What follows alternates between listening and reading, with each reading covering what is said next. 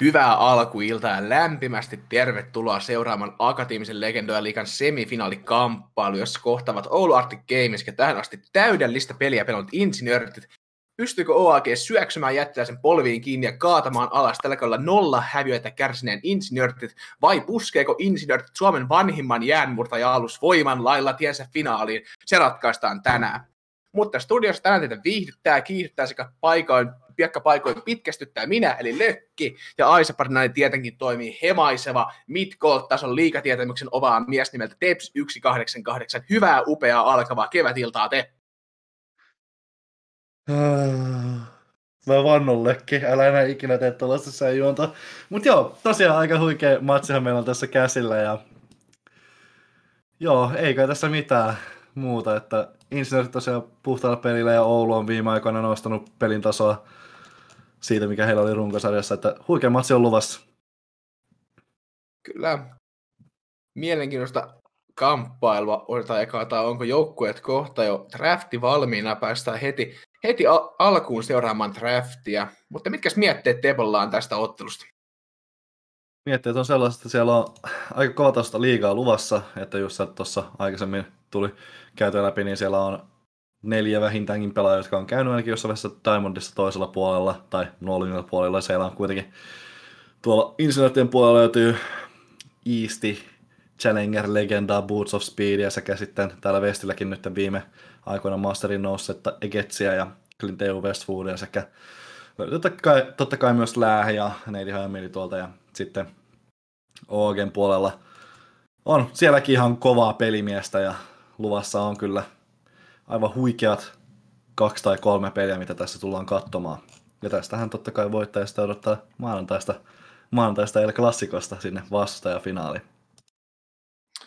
Kyllä finaalipaikkaa tarjolla tosiaan ensikertalaiset molemmat olisi finaalissa. Mm. viime kaudella tai semifinaaleissa muistaakseni. Uh, näistä pääsi. Jos puolivälieri, puolivälieri saakka pääsi, eli niin kerrosta aikaisemmin putos kuin mitä nyt tässä vaiheessa ollaan, että siellä oli silloin toi Rehtimidi otti heistä 2-0 voiton. Mutta vähän sanoisin jopa, että on kovemman tasoinen joukkue kuin mitä viime kaudella oli heillä käsillä. Mutta pelaaminenkin on näyttänyt paljon paremmalta kuin mitä viime kaudella, että siellä on yhä sama toi Koreon, Neti Haimeli, Boots of Speed, Läähe ja Grinteu Westwood, että se on nyt ei tullut ja pieneksi. Se on ollut ehkä hyvä, hyvää tehnyt heidän in-game tekemisellä ja siellä päästään draftia aloittelemaan Jogatia äkkiä, insinöörit sen ottanut pois ja OAG tota, Viegoa pitkään ainakin hoveraa tuossa, missä ehkä allekirjoittanut on tuolla Etkojen puolella maininnut tuosta Championista aikaisemmin tänne. Joo, toivottavasti joku joukkue sen vihdoin vännää. Kyllä se panelistalle menee, ei pääse, Kyllä. ei pääse Insinöörit sillä dominoimaan tässä pelissä ainakaan. Joo, ja se on Insinöörtillä ollut, että se on käytännössä kolme lanen flexi ollut heillä, ja sitä ei koskaan tiedä, mihin se on menossa. Uh, Insinöörit kuitenkin näyttäisi respektaavan tota Texas K.O. Riveniä, sitä nähtiin viime viikollakin, ja nyt sitä ei tulla näkemään. Ihan, ihan hyvä, hyvä tähän vaiheeseen ottaa se pois. Tässä aika paljon powerpickkejä on totta kai vielä auki, kun aloitetaan tuollaisilla vähän target-bänneillä. Vladimir siellä nyt on otettu pois mm. kuitenkin.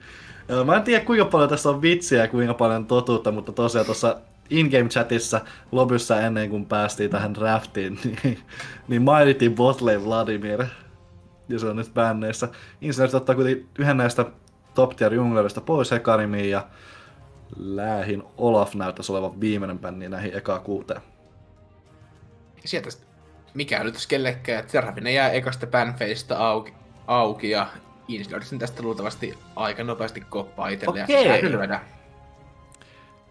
Tässäkin on mielenkiintoista idea ollut takana, että insinöörit aikaisemmissa vaiheissa on aika paljon ottanut tätä Serafina tai niin ollut sen bännin takana ja ihan ekoilla viikoilla, kun se meni läpi, niin ilmeisesti siellä oli ollut ihan niin legit puhetta APC Serafinesta, niin että siellä olisi vähän roolia vielä vaihdettu eteenpäin, mutta nyt siellä kuitenkin Uduro on jätetty auki ja sen OAG tässä nappaa itsellensä ja ehkä, no, pieniä muutoksia on jungleja tullut totta kai, mutta mielestäni jäljellä olevista junglereista se paras Ja Threshi siellä toi.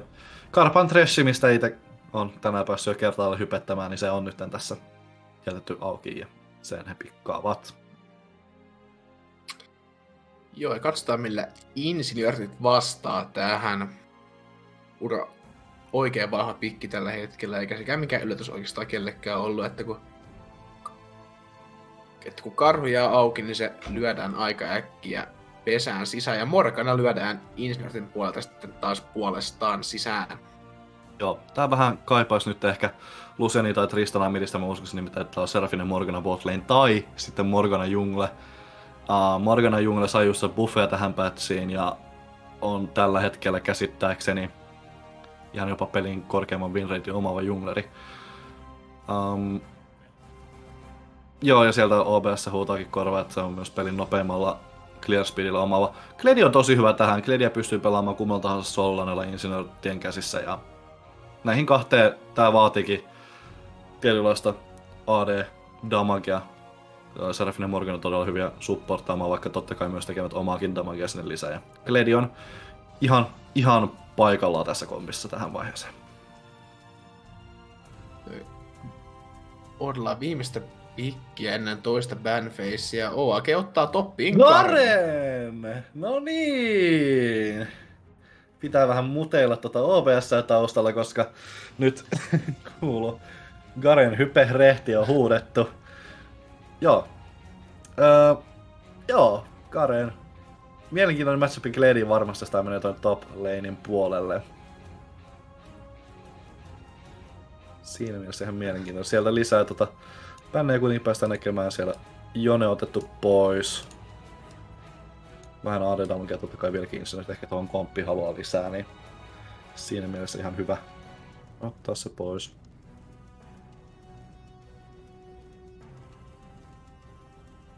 Jos täältä... Ja oikealta tosiaan pikkaamatta löytyy se midline ja ADC sieltä Jinxi bänni ja hoverotaan. Jinxi lyödään bännilistalle, otetaan ADC puulia pikkasen heikommaksi. Joo, se kuitenkin teks... vielä on ihan vahvoja ADC, esimerkiksi Kaisa on vielä auki, ainakin toistaiseksi. Kyllä Kaisa on siellä ja Löytyy myös Veino viime aikoina nostanut päätään ylöspäin. Löytyy Tristana vielä, joka on ollut todella hyvä pikki. nautilus täältä tulee nyt OAGlta. Viimeiseksi musta tuntuu, että tuossa on jo, on jo tota, mahdollisesti Botlanen pikattu, mutta sehän on, että Morgana voidaan viedä Jungle ja Serafinelle toi support. Ja Tristana sieltä nyt on se insinöörttien viimeinen bänni, mistä äsken pikaisesti ehti mainita.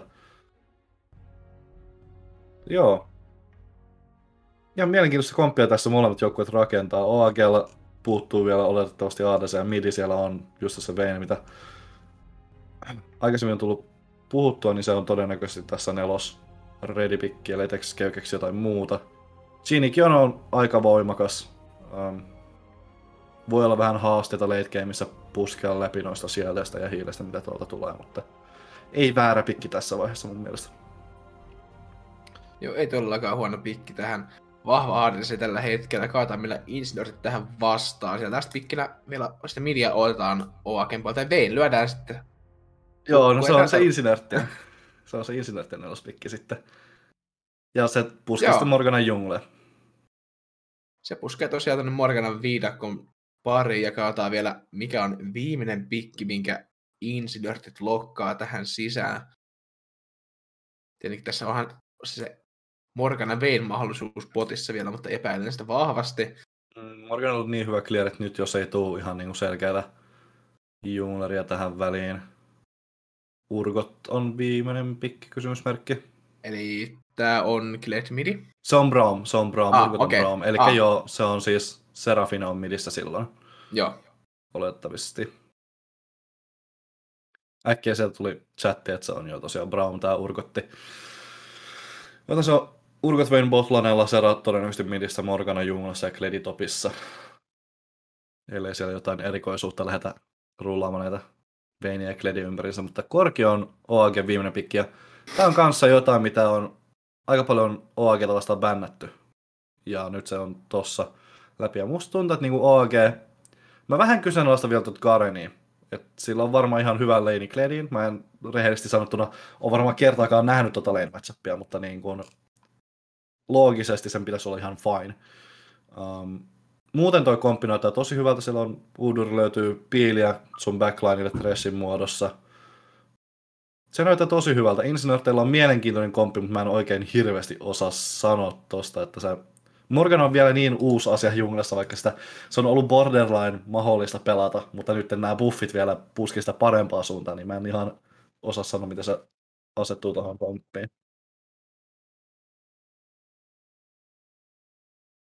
Tosiaan mielenkiintoiset kompit. Molemmat ottaneen odotellaan päästäisiin Jam Selectiin eli pieniä teknisiä vaikeuksia vielä on, mutta kohta päästään Jam Selectin puolelle. Tosiaan toplane matchupilla siellä on se Gletkaren matchup. Osaatko tästä ollenkaan sanoa meille, että kumpaa, kumpaa tämä no, matchup puoltaa? Ihan loogisesti ajateltuna sen pitäisi olla vähän parempi Karenille, että toki joku varmaan tulee tämän sanomaan, sanomaan mulle toisin, mutta se jotenkin vaan kuulostaa semmoiselta matchupilta, että Karenin pitäisi olla um, pystyy ottaa Kledin hyviä tradeja, pystyy niin kuin, no, treidit on vaan niin hyvät Karenilla, toki Kledillä aina sä pystyt remountaa ja se ei ikään kuin stikkaa kunnolla se damage koskaan Klediin. On siinä myös se, että se Garenin ulti, ulti niin kuin, ulti execute threshold on yli, yli sen Kledin piste, missä se tulee pois siitä Skarlin selästä, joten se pitää jättää aika myöhäiseksi vaiheeseen. Mutta käytännössä aina, kun Kledi on mini, tai minimuodossa, pois Skarlin selästä ja level 6 on mennyt, niin Garen voi execute Kledi. Um, siinä mielessä semmoinen vähän erilainen matchup, mitä Kledillä yleensä on, että sitä ei enää pysty turnaamaan myöhemmin, myöhemmissä vaiheissa takas, mutta Örilanella sen ehkä olla pikkusen Kledi-painotteinen. Mitäs toi Jungle, sä et ihan varmaan hirveästi on Morganaa vastaan Joo. päässyt pelaamaan Junglessa, mutta Udur on ainakin tuttu vihun puolelta yleensä. Itse asiassa nyt pakko sanoa, että Udurkaa ei ole tuttu, että mulla on ollut semmoinen filosofia, että mä en viimeisen sataa peliä pelannut yhtäkään peliä okay, Urgattia okay. vastaan, koska mä oon... Urgattia? Mun, ei anteeksi, Udoria vastaan, se on semmoinen, semmoinen permabänni ollut joka ikäisessä pelissä, mitä on tässä lähiaikoina tullut pelattua, niin itse asiassa ei kyllä ihan kauheasti kokemusta sitä. Vastaan pelaamista ole, mutta Udur mm. tosi vahva tällä hetkellä. Morganista ei osaa sanoa, mutta semmoista tiukkaa huhua kuuluu, että jäätävän hyvä Cleari ainakin on tällä hetkellä. Joo. Joten en, mm. en osaa sanoa muuta kuin mielenkiintoinen matchup. Joo, siinä on se, että on just se Morganalla käsittääkseni full cleari kolmeen minuuttiin menee tällä hetkellä, että joo, Ville on 257 sieltä opsi huutaa korvaan, mutta joo, tosiaan semmoinen erikoisuus tuossa, että Morgana pystyy level 6 jälkeen Udurin aika hyvin luvitsemaan alas. Ähm, toki Tenassi tuo Uduri jonkun verran ottaa todennäköisesti helposti tuohon buildiinsa. Mutta niin, ja Udur tosiaan, jos pääsee Morganan käsiksi, niin prokkaa todella helposti sen Black Shellin läpi Phoenix Billille nykyään. Mut joo, ei siinä oikeastaan sen erikoisempaa. Mitissä toi Korki Serafine, tätä itse asiassa itse pääsi justiinsa eilen pelaamaan varjoplayereissa. Tuolla lanella ei tule tapahtumaan mitään. Korki todennäköisesti pääsee lykkimään Serafina jonkun verran sisään siinä lanen aikana, ja Korkin pitää ottaa ne etuudet sillä, että se pääsee roomaamaan paremmin kuin Serafina. Mutta late game teamfighteissa Serafina on ensanterin ja todella hyvin teamfighteihin. Ja Serafina on aina Serafina late gameissa, vaikkakin sinne on tullut itemin muutoksia. Ihan mielenkiinnolla nyt tässä odotan, että Egetsit on Serafina ottanut, että tuleeko sieltä tota, vielä Moonstonea vai onko vaihdettu jo Liandrisiin tai muihin vaihtoehtoihin? Kyllä. Tosiaan sitten botlaneissa on semmonen, ei ole Vayne Urkotti, vaan Vayne Braum duo ja vastassa on Tres. Joo. Tres on erittäin diilattavalainen Veinelle, että kaikki skillshotit Vein pystyy väistämään oikein ajoitettuna. Ähm, vähän semmoinen säkättylane ehkä siinä mielessä Braum. Okei, siellä on sitten killpressura, jos Tres astuu vähän liian ylös, mutta Braum on enemmänkin semmoinen late game seison Veinin eessä ja annan sen te- tehdä asioita sillä aikaa, kun sitä vähän hiilalla ja siellä tuossa vieressä. Todella paljon tässä menee kyllä Clint Westwoodin äh, Veinin käsin tässä pelissä, mutta late gameissähän Vein on parhaimmilla ja Jin tosiaan tulee mun mielestä putoamaan aika pahasti tuohon, kun ei pysty polttamaan Glennin HP-barin läpi noiden hiilailujen seurauksena, mitä tuossa Serafin tuo. Tosiaan Mutta kombit. Karpan trash, karpan trash, karpan trash. Odotan innolla. innolla odotetaan tätä tosiaan. Tosiaan vahvat teamkompit molemmilla, mutta kun tätä teamkompia tuijottelee, niin kummalla on vahvempi komppi tälle ihan niinku teorian puolesta. Kompin puolesta mä sanoin, että OAGlla on parempi komppi. Siellä löytyy just, niin kuin mä sanoin, neljä erittäin kovaa metapikkiä, Jean, Korki, Thresh, Udur. Tai Garen on vähän semmonen, mä päästäisin kuitenkin sormien läpi sillä, että se, mä näkisin, että se on hyvä matchup Gladiin. Uh, Okei, okay, ehkä ihan early level saatat vähän takkiin, mutta niin late gameissa ja niin level 6 jälkeen leinillä, niin sun pitäisi pystyä mun mielestä Gladi handlaamaan tosi hyvin. Insinööteillä on se, että jos tämä tosi menee tarpeeksi leittiin, niin siinä vaiheessa mä näkisin, että toi heidän komppinsa tulee tietyllä tapaa eloa, että vaikka siellä on semmoista suurta, suurta mid-shieldia, niin se noin shieldit ja healit, mitä siellä tulee Serafine Morganalta, niin on aika isoja. Mutta jos tämä loppuu, sanotaan ennen 38 minuuttia, niin sitten mä sanon, että okei, okay, on parempi komppi. Kyllä ei breaksit on tosiaan chattiin laitettu ja siellä isot pisteet jaossa tänään sinne vaan kaikki laittamaan laittamaan hashtag NRDvin tai hashtag OAGvin kumpi ottaa tämän Game 1 tästä meidän huikeasta BO3. No, Dakki, kumpi ottaa? Tosiaan, no, a, minunkin mielipidettä kysellään. En ole tähän tottunut, mutta kyllä mä uskon insinörtteihin sen verran, että sen verran vahva joukko on ollut nämä viimeiset kaksi kautta, mitä on päässyt heitä seuraamaan tästä sivusta ja mitä heitä vastaan on joutunut pelaamaan, niin kyllä uskon, että sen verran vahva tiimi on siellä, että insinörtit tänne ihan tämän Game 1 kyllä ottaa. Joo, kyllä mäkin lähtökohtaisesti lähden sillä, että on tämän pian. Että siellä, mitä heitä vastaan usein on sanonut, kun on tullut joukkue puheeksi, niin erittäin vaikea joukkue prepata vastaan. Ja eikä tässä draftissa vähän tuli sitä, että jos bännäät Olafin, mutta Kledi on auki, niin miksi et vaan jätä molempia saman tien auki, että siinä olisi voinut jonkun toisen mennä. Toi Vladimir, mä rehellisesti en tiedä, mistä toi Vladimir bändi tuli, että onko siellä oikeasti, oikeasti niin paljon pelattu jossain välissä Vladimiria tuolla insinöörien puolella, mutta joo, ihan mielenkiintoista kohta tästä päästäänkin tonne loading screenin puolelle. Mutta joo, kyllä tässä OAGlla ihan työkalut tämän matsin voittamiseen on kuitenkin. Kyllä on, kyllä on.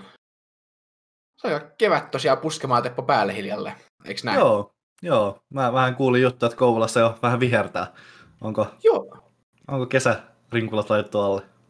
Tuosta kun ulos katsoo, niin pikkasen aikaa puhuttiin hiljalleen vihertämään ja kesämunkit ollut jo muutaman viikon tässä alla ja Oho, hyvin on kyllä, hyvin on toiminut, ei ole kyllä, en ole yhtään katunut aikaista vaihtoa kyllä. Se on hyvä mieli on, kun tulee kevät ja ei ole, ei ole helvetin kylmä, niin kyllä se hymyilyt. Mitäs sinne joo. Jypin kylää Keski-Suomeen? Oh, tää on aika harmaata ollut, kun ei playoff-paikkaakaan tullut, mutta kyllä, kyllä täällä elää.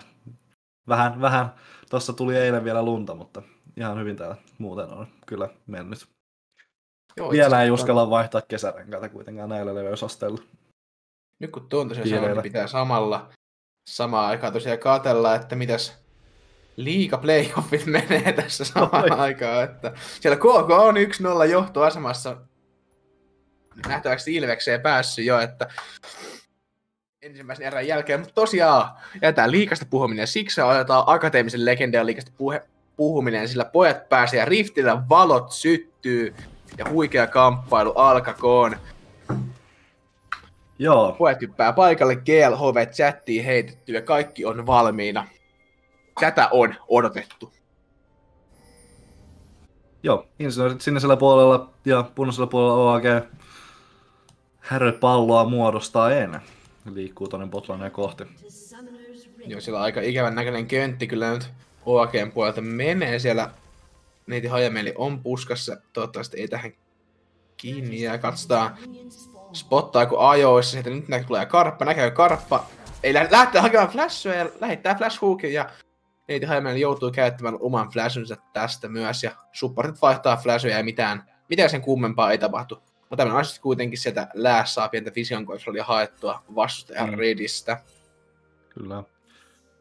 Ehkä tämä pienoinen voitto tuolle Trashille on, että yleisesti ottaen Braumi, no, sulla on aika vaikea trade patternit Braumina tuohon Trashiin, että sä yleensä tykkäät semmoisiin matchapeihin pelata. Braumi wait, jotka... wait, oh.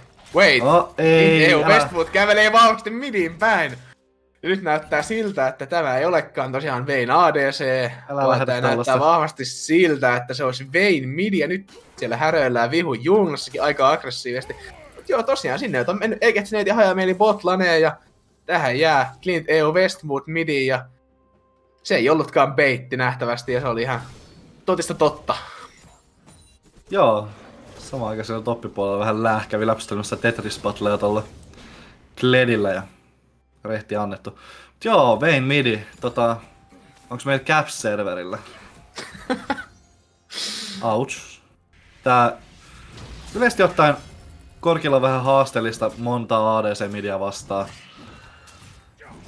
Ähm, poikkeuksena ehkä Tristana, mutta joo. Korki Vein. Uskoisin, että menee vähän samalla tavalla kuin mitä esimerkiksi Korki Lucian menee, jos porukka pelaa sitä matchupia. Topista treilata flashuja by the way. Joo, tietysti Spatle ottaa aika aggressiivisen TPn tuohon, joutuu aikaisin, joutuu aikaisin backkimään ja ottaa aika, ottaa aika aggressiivisen TPn tuohon, mikä oli pikkasen, pikkasen riski, riski on ihan kannattanut, että lää, lää pakottaa Texaksen backin. Nyt saman aikaan että jää Eketsiä kiinni, Iksen tulee ja kova damagea tulee, Texas jo fläsää ja saa First Bloodin sieltä, saa neljännen auton osuttua ja Jin ottaa ensimmäinen tapa. Samaan aikaan Tick Booty Boy on midissä Clint Westwoodin kimpussa ja Clint joutuu tästä fläsäämään mutta ei ihan henkään kuitenkaan meitä tässä samalla aikaan Push Speed on vielä hakemassa siellä olutmaisteria, mutta ei ihan kuuläntää. Joo. Todella early mähinöintiä tässä midissä parit summonerit ja mä en ihan varma, oliko toi Bugis Pekissä toi Text on Flashy. Niin olisi Flashy paikallaan, mutta joo, kyllä siellä todennäköisesti mentiin sen verran eteenpäin, että rangea oli ihan, ihan riittämiin sen jälkeen. Uh, Joo, midissä hyvät känkit siihen ja äkkiä Veiniltä pois summonerit. Ja hyvin Putsu Speed vastasi tuohon Tick Bootboyn känkkiin, että hyvin on lukenut, missä, missä se Udur oikein vaelteli ja hyvin pystyi tuohon vastaamaan. Saman aikaan siellä on taas Putsu Speed hakee midissä, että jostain pikku sneaky binding, bindingia sais. Kutle on ylhäällä, tässä Udurin tulee kohtaamaan Riverille. En tiedä näkikö nyt, kun Uduria taisi nähdä. Kuitenkin nyt siellä mähinöitä on ja tästä Booster Speed joutuu nyt joutaa jättämään Scootley Tickbooty ottaa sitä omaan taskuun. Ihan ei Booster Speed panikit ländää, nyt on kyllä pahassa paikassa. Booster Speed joutuu sitten fläsäämään pakoon. Ei hengellään muuten pääsi tuosta pois ja hyviä painingia heittää, mutta ei nyt ihan kuitenkaan riitä. Kaikki mähisee siellä Riverillä, mutta mitään oikeastaan ei tapahdu. Yksi Väsypurilta. Joo, aika erikoista, että tuohon Skutlelle tulossa kummallakaan ei ollut tota, mitään ylhäällä yleensä sen jungerit säästää vaikka väkisin siihen Skutle battleja varten. Mut joo, tosiaan paljon tapahtuu mitään tapahtumatta. Todella paljon on tähän early gameen nähdä. Yleensä ollaan totuttu vähän OAGen kanssa hitaampiin early gameihin, mutta nyt on ihan, ihan tempo kyllä kohillaan tässä pelissä. Ja tempo on kohillaan, että jos hiljasta vähinää odotettiin, sitä ei nyt nähdä, vaan nähdään kunnon, kunnon rehtiä niin sanotusti, ja tämä antaa siellä Terstikselle pikkasen kyytiä topissa ja näyttää, että Karen ei ehkä ollut ihan se mm. kannattaa pikki häntä vastaan, mutta se jää vielä nähtäväksi tietenkin. Monesti Kledillä nämä erilainen näyttää tältä, vaikka olisikin kuinka hyvin vellainen. Et kohta tosta tulee toi Scarli takas ja Tetris Battle on valmis 300 HP, että vähän haastavaa tämä elämä on eri leveleillä Klediin. Toki niin, voi sanoa, että Riidi oli aivan jossain arsessa tästäkin matchupista, että se olikin ehkä aika vaan voimakkaammin Kledille menevä. No mutta, vielä on peliä jäljellä ja tuolla ei kuitenkaan mitään peruuttamatonta ole käynyt tuossa lanella. Ja vielä on Allia jäljellä. Tosiaan ensimmäinen Dragon on Inferno Dragon, mikä sinne spavnaa ja molemmat junglet sen aika nopeasti kyllä saa sitten potentiaalisesti tehtyä, kun siihen pisteeseen pääsevät, vaikka ihan yssikseen. Nyt Udoran siellä midissä Clintin kimpussa. Näköä ei ole Clintillä tästä, mutta Clint semmoisessa paikassa pelaa, että tähän ei kyllä Tickbooty pois sisään tule pääsemään. Kansalla vähän päkkiä. Samaan aikaan kuitenkin sinne alkaa hiljalleen Upsos Speedkin kerääntyä. Nyt on kyllä pahassa paikassa Tickbooty pois. Tässä hänet spotataan. Tässä löytyy. Ei spotata kuitenkaan. Juoksee Clintin päälle. Hei, Clint heittää Eellä vaan heittää Urrin huit helvettiin naamalta, sanoo, että äläpä tuttelija rökittelemään enää uudestaan, ja Urre kunnioittain lähtee käymään pottiin päin. Kyllä, nyt siellä Egetsi ja Hajamiele törmää tuossa Riverillä, mutta siinä vähän se Slovia heit- heitetään vaan tuohon OAG Jungleriin ja siitä pääsee Insinaattien botlane ottamaan irti ihan ilman sen koon kummempia ongelmia. Level 6 on midistä hitattu. Meineillä tässä vaiheessa on jonkunnäköistä killpressuria. Aika loveilla manoilla on ollut maisteri tuossa midissä. Että vähän ehkä jos sais boost of speediltä jeesiä, niin voisi olla aika kuolta olusmaisteria tossa. Kuitenkaan siellä Final Houria lähdetä poppaamaan ihan turhaa helposti, että halutaan vähän vielä katsoa varmempaa paikkaa. Joo, ja sitten oluelta löytyy kuitenkin väsy ja löytyy sitten vielä tupla V-korkilla, että pääsee aika, aika äkäisesti kyllä pakoonkin Clintin enkakelta. Sen topissa mäistä oikein kunnolla, että Battle hittaa just kuutosen tosta ja lää joutuu sitten perääntymään. Ja sen enempää tavat nyt Putsas pidä kuitenkin löytänyt tiensä botti ja niin karppa jää, jää kiinni bindingiin, mutta siellä on kuitenkin botlane sen verran kaukana, että ei pääse tähän, tähän lihaan kiinni tarpeeksi ajoissa ja pääsee karppa pelästyksellä pakoon. Joo, ei siinä kummellisempia. Topissa muuten nyt on molemmat sieltäkin hitanut ton kutosen ja alkaa olemaan Karen just siinä pisteessä, missä mä ajattelin, että tää lähtee kääntymään tää lane. Ää, tulee sen verran passiivista jotakin, niin potissa muuten lentää karpahuuki.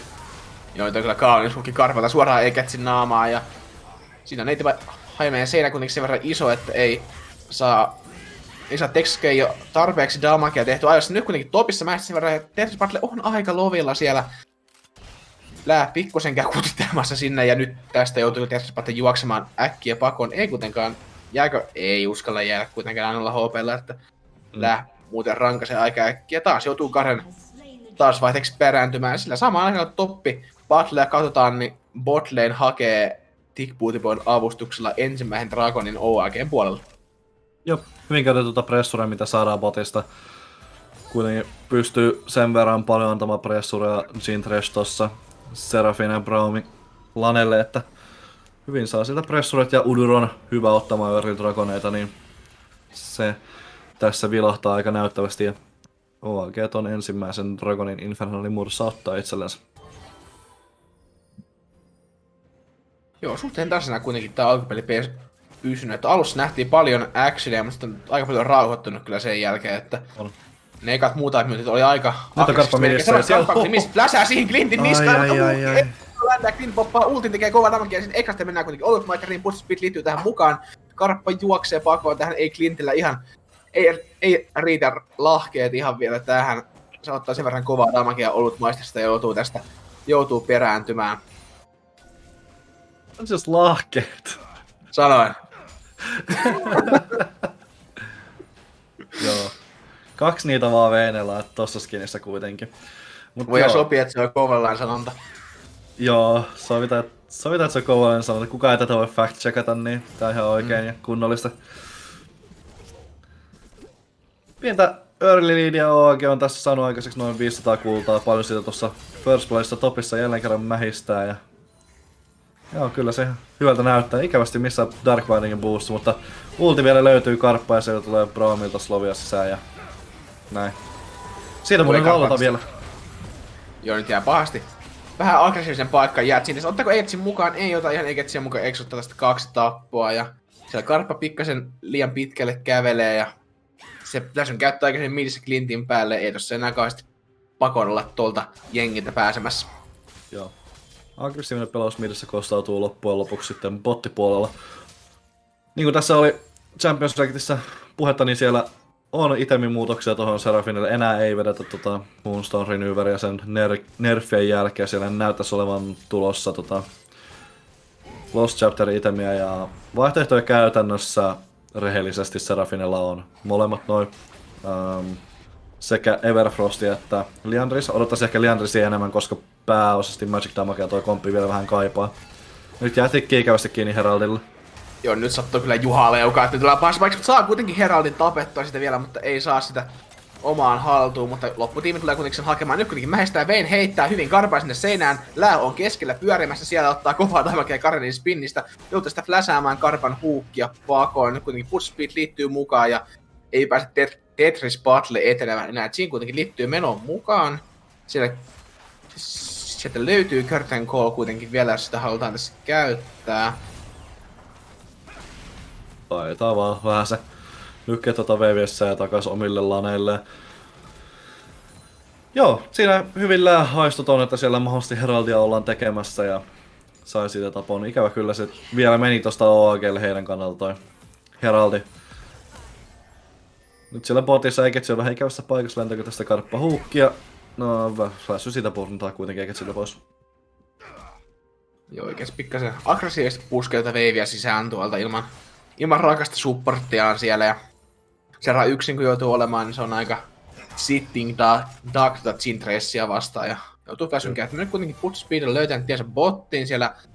Siellä Oakilla ei pitäisi olla vielä tietoa, että Put Speed siellä seikkailee. Saa nähdä lähteekö tästä mitään kehittymään, mutta kuitenkin Putsis pitäisi luultavasti tulee ottamaan. Karpelissa puskassa kuitenkin kyttää, jos saisi jotain, jotain koukkua Eketsiin kiinni. Putsis ei kuitenkaan backi. Jää tänne kyttämään. Nyt tulee karppa sisään. Texas hyppää sisään, mutta Putsis on hyvin siellä heittää flash ultin niskaan nyt kyllä näyttää pahalta olla, Texas jo purnaa purnaa, mutta ei ihan kuole kuitenkaan. Meidän on tulossa vastaan. Mutta karppa kuitenkin jää jää sinne, eikä tästä pääse pakoon. Nyt Clintti fläsää hyvin.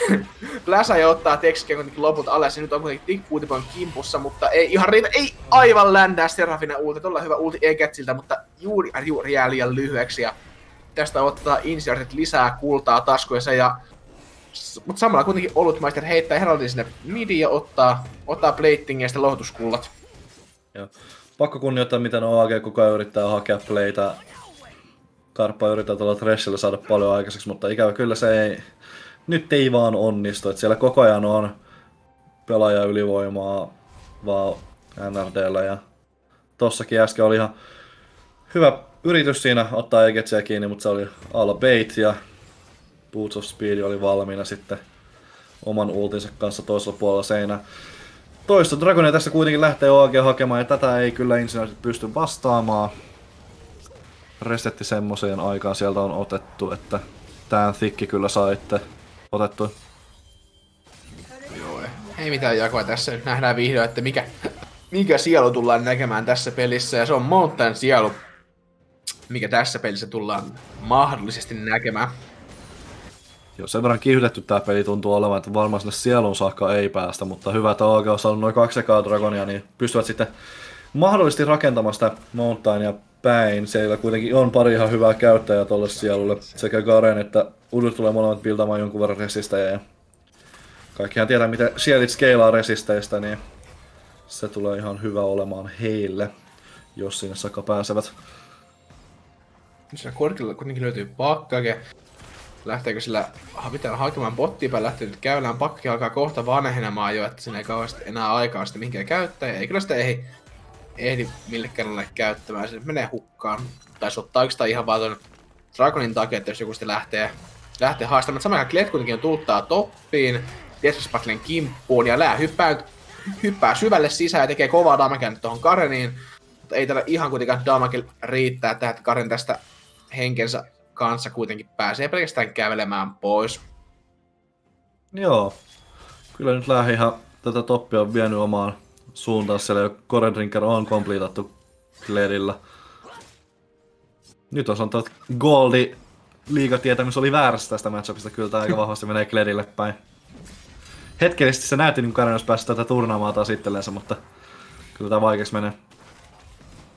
Joo, ei se miehellä kaikkia voi olla, jos on Ai. Oikein hemaiseva, niin ei voi myös kovaa tietoa olla, mutta nyt Texas Keijo jää sinne beittiin kuitenkin kiinni, eikä että niitä Haimani ottaa puskassa. Hiilin käyttää Texas Keijo, mutta se ei kuitenkaan ihan riitä, ja Puss pitää pudottaa. Samankaan topissa kuitenkin Tick Booty ja Tetris Battle lähin kimpussa. Lää ottaa kova damage, Booty on aika loveilla kuitenkin tässä. Lää tekee kova damage, mutta se ei ihan kuitenkaan tule välttämättä se riittämään. Ei ihan taida Skarlia saada tässä takaisin, ja ei kuitenkaan saa, että Karen pistää, pistää ultilla kehiin, ja ei, ei saa Skarlia takaisin ajoissa, ja tästä tulee kaatumaan. Samaan aikaan Karppa on aika aggressiivisesti siellä botissa. Igne tulee, tykki on tosi lovella ja Karppa tulee tästä henkensä menettämään. Tuleeko sittenkään fläsää pois? Insectille ei taida mikään riittää, eikä saa kuitenkin kohta fläsästä takaisin lähteekö haastamaan. Ei kuitenkaan ei ehdi tuohon haastoon toi flashu ja tästä Karppa juuri juuri pääsee henkensä kanssa pakoon. Oh. Aika midissä mäistää vielä lisää. Ja nyt kuitenkin Tick voi kävellä ja Clint EU Westwoodin kuitenkin olisi pitänyt nähdä ja näkeekin hyvin ton pinkin läpi koittaa Udur kävellä ja se ei Clintiltä ohi mene. lähtee kuitenkin nyt haastamaan, lähtee haastamaan, heittää Exhaustin Uduriin, Udur ottaa kovaa damakea nyt Clintistä. Clint ei ihan tästä tappaa nyt kuitenkaan saa. Tekee aika hämäävän paljon Veintalla PT ja Brokilla damage. Sattuu se true damage vielä siihen päähälle ja sitten sit tulee se, mitä 6-12 prossaa sitä extra damagea vielä, mitä PTAsta saa, niin se on aika kuvottava määrä damagea. Joo, siinä nyt on ihan hyvin midissä loppujen lopuksi saanut Oldmasteri pidettyä pintaansa, vähän farmiliidekin saanut aikaiseksi. Um, tai no, käytännössä juurikaan ole, mutta kuitenkaan ei ole kaatunut tuolle Veinelle tuossa midissä. Um, se, että Veinellä on toi tappo, niin sieltä nyt tulee todennäköisesti seuraavalla pekillä jo toi Immortal Selpovi. Ei sitä vielä nyt saanut itsellensä, niin se alkaa olemaan aika isoa väinöä siinä vaiheessa. Tai itse siellä on kyllä Kraken Slayer. Minä tyhmänä katsoin vaan, että siellä näkyy toi Vampiric Scepter, mutta on siellä ihan oikein Kraken Slayerin noin komponentit myös sieltä löytyy backpackista. Tosiaan minuutti 20 seuraavaan ison objektiveen, mikä alkaa olemaan Mountain Dragoni, minne varmaan molemmat tiimit ehkä lähtee haastamaan. En tiedä lähteekö. Uskon, että Insinuitit kyllä haluaa tämän vihdoin haastaa, että OAG on saanut kaksi aika ilmasta Dragonia itselleen tästä Insinuitit sen verran vahvoja tällä hetkellä, että aivan varmasti haluavat tämän haastaa. Eli tämä tapahtuu nyt kuitenkin Texas Keijo ja karppaa sinne midissä. Bootspeed koittaa saada koittaa sitä painingia, mutta hyvin pelaavat Texaskin karppaa. Joten samaan aikaan botissa Clint ei ole menee olutmaisten päälle ottaa kovaa damagea, mutta Clint riittää kuitenkaan damagea ei ihan, ei ihan riitä olutmaisten damagea. Clint pääsee juuri ja juuri tästä hengellä ja ottaa, ottaa yksi vastaan yksi tapon olutmaisterista. Joo. Se on Vein asioita. Ei, sidelaneillä ei kyllä korkiparia. Nyt tikki juoksi sille Veinia alas. ei uskalla. Ei uskalla. Joo, ei riitä. Nyt on Vein jahdissa siellä, mutta ei, ei ihan riitä. Ah, oh, missä lentää hukki? Hukki lentää push speedi, mutta oh, hyvin kuitenkin niitä Hajameli hyppää sinne sisään ja tästä, tästä, tästä rankasta on kyllä OAGn bottia tulla kova. Niitä Hajamelikin tästä, oi pikkainen miskommunikaatio, niin sillä botilta käytetään hiiliä Sonjassa samaan aikaan, mutta se ei haittaa. Kaksi tappaa ja midi-tolppakin tästä tulee kaatumaan ja näyttää siltä, että tämä Dragoninkin tulee menemään aika nopeasti Insinörttien puolelle. Mm. Tuliko tässä inksattua OAG? Kuitenkin kaksi viikkoa, tässä, kaksi viikkoa tässä on itse tullut sanottua, että on tulee aika vaikea matsi, ja nyt kun sitten tulee oikein, oikeasti aika vaikea matsi, niin tuli sanottua, että ehkä OGlla on tässä mahdollisuuksia. Toki tää on best of kolmonen. Tosi vahvasti nyt kuitenkin tuolla paremmin myöhempi vaiheessa siinä scalavalla kompilla, niin Insinuitit on päässyt nyt liidiin ja sai ton ensimmäisen Dragoninkin otettua itselleensä. Mikä mä uskon, että jos OAG tästä koittaa takaisin vielä päästä, niin se pitäisi kyllä tehdä nyt aika äkkiä, toi, toi scalava komppi, mikä Insinuitilla on, niin on aika ikävän näköinen kyllä. Että jos OAG haluaa tähän pelin mukaan päästä, niin jotain pitäisi kohta alkaa jo tekemään. Kyllä, nyt se lähtee vielä käyttää tähän Heraldille oman ultinsa ja sieltä tulee muutkin insinöörit aika nopeasti paikalle.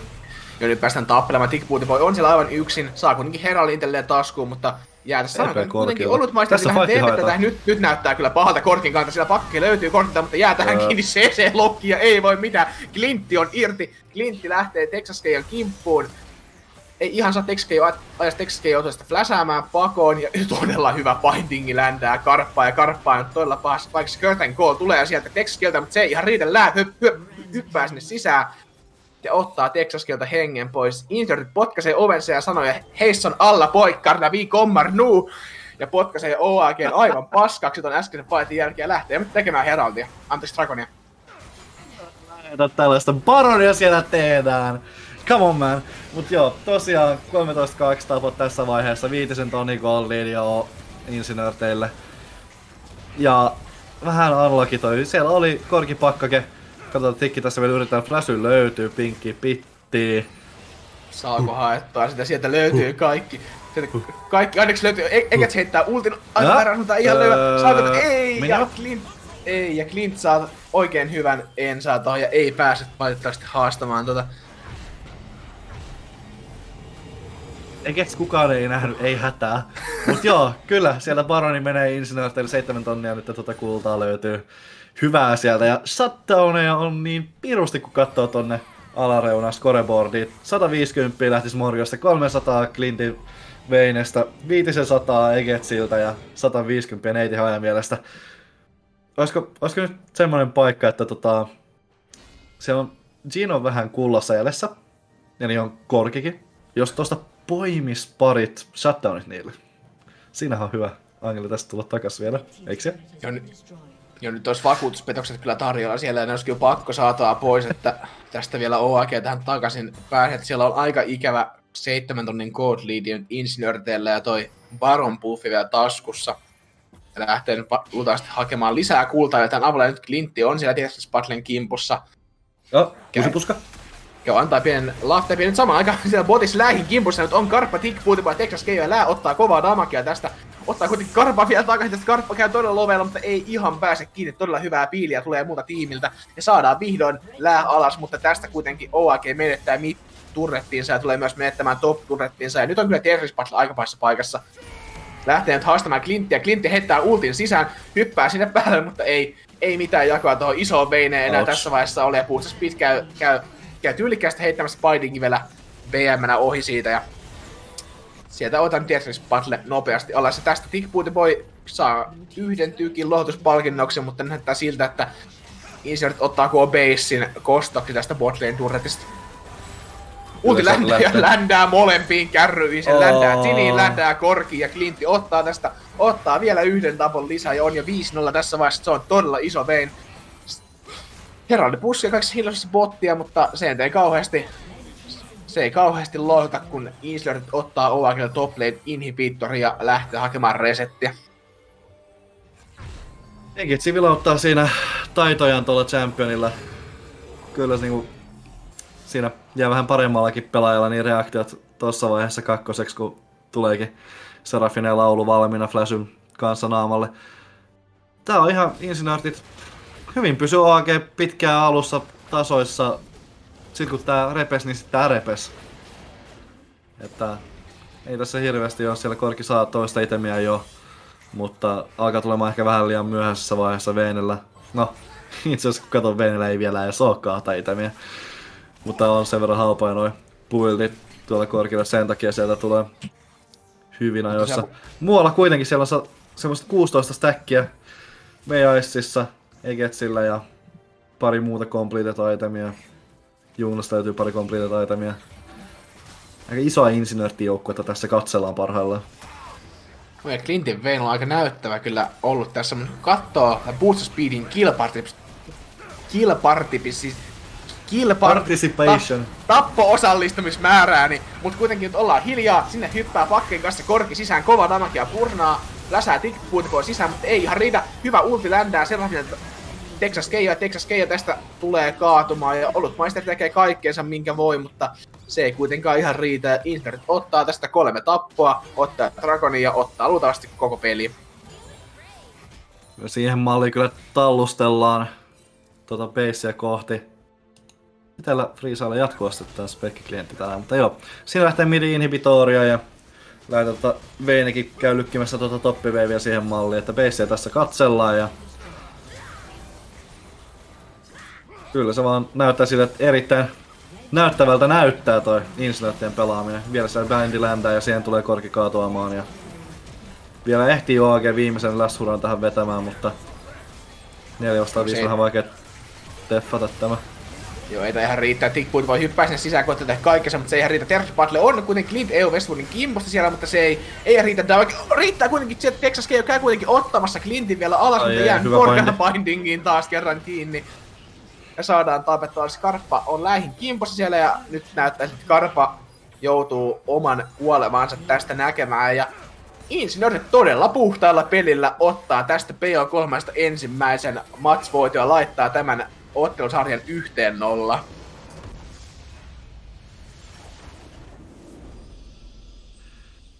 Semmonen peli sieltä.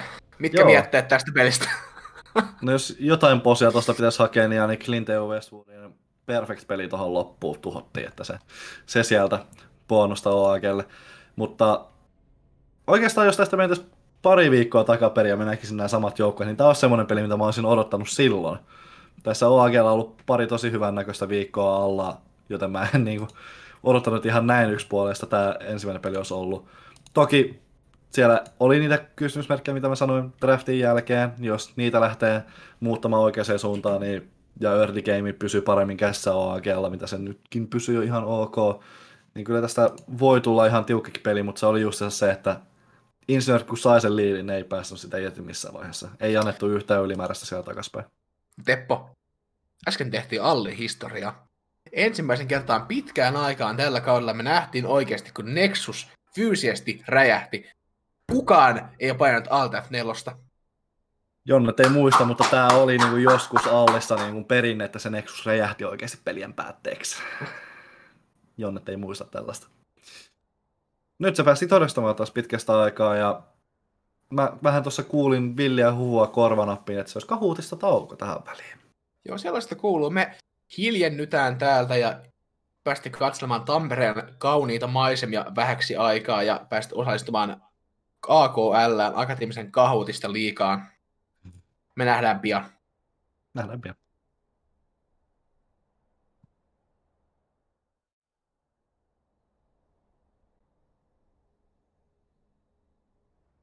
Okei, okay, vai. I need you. Eikö tuo vähän nyt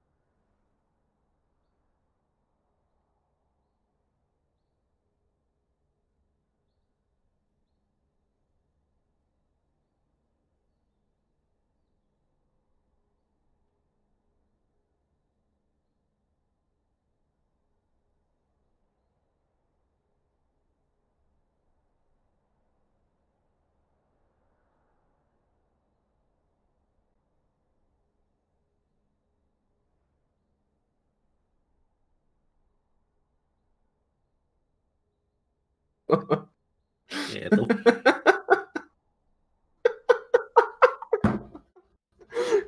Tervetuloa takaisin Akateemisen legendojen liigan pariin. Insinöörit vastaa OAG. Game 2 OAGlla on kyllä tuo puolen valinta ensimmäisen matsin tappion jälkeen. Joo, mikäs lökki nyt noin naurattaa? Menikö kahuutikset niin hyvin, että oikein alkoi naurattamaan? Mä rakastan mun elämää vaan niin paljon. Mutta tosiaan... Naurattaahan se. Nyt hiljalleen tosiaan odotellaan, jos päästäisiin katsomaan Game 2 tästä BO3. No, mitäs ootteita? Odotuksia meillä on tähän seuraavaan peliin. odotuksia olisi semmoista, että OAG ainakin muuttaisi niiden bännejä jonkun verran.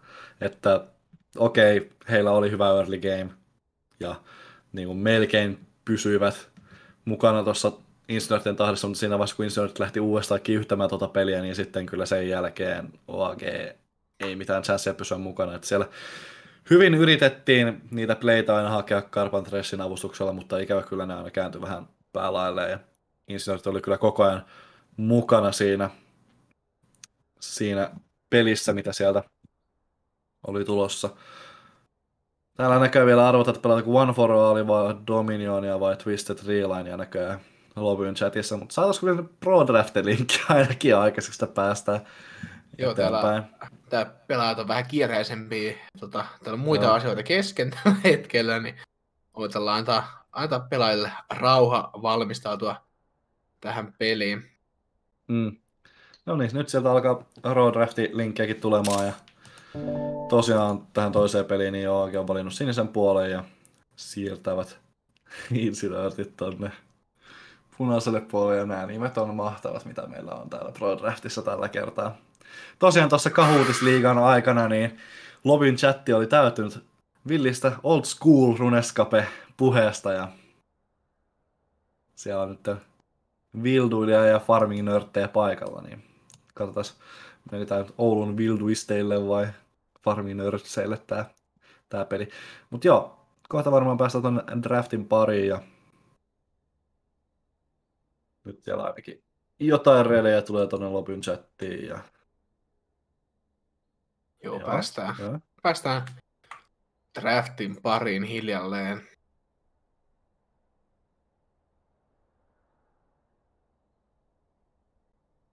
Näin ihmisenä, joka ei ole pelannut päivääkään runescapea, niin tämä chatti on todella hämmentävä tällä hetkellä. Näistä farming leveleistä puhutaan tällä hetkellä. Joo, kyllä se vähän niin kuin semmoinen on, että itselläkin niin se on joskus alastella tuli hakattua aika paljon ja nyt myöhemmällä iällä sitä vähän yritti, mutta... Joo, tällä on ollut semmoinen Dofus Master Rase ollut oikeastaan oh. täällä Kuusaan puolella.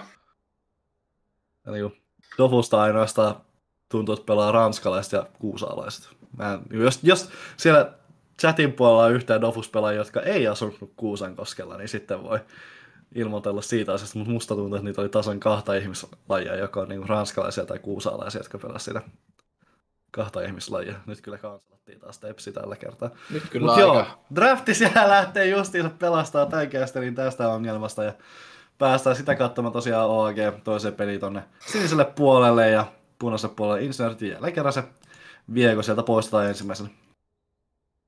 Joo, Vieko poistetaan aika äkkiä. Katsotaan, muuttuuko tässä Oulun bännit nyt mitenkään. En usko, että insinöörttien bännit välttämättä kauheasti muuttuu. Tosin en usko, että Serafina ehkä annetaan olla aivan ilmaksi. Ja Morgana otetaan bännilistalle. Ja nyt speed, speedharataan aika äkkiä, että bänne Hekarim menee insinöörttien puolesta bännilistalle. Ja mikä on Oulun, Oulun viimeinen bänni. Joo, ja Boots of Speedin Morganan kanssa näköjään haluta diilata. Se oli äsken aika Pelottavaa jälleen kerran sieltä se Olaf otetaan kolmas peli, niin nyt se Vladimir on päästetty läpi. Kuli vähän villiä huhua, että siellä on yksi aika pirkuleen kova Vladimir pelaaja tuossa insinöörteissä. Ja saa nähdä, että pikataanko se nyt sieltä. Insinöörit tällä kertaa kuitenkin itse tuon Serafine ottaa pois ja ei sitä halua OAGlle antaa.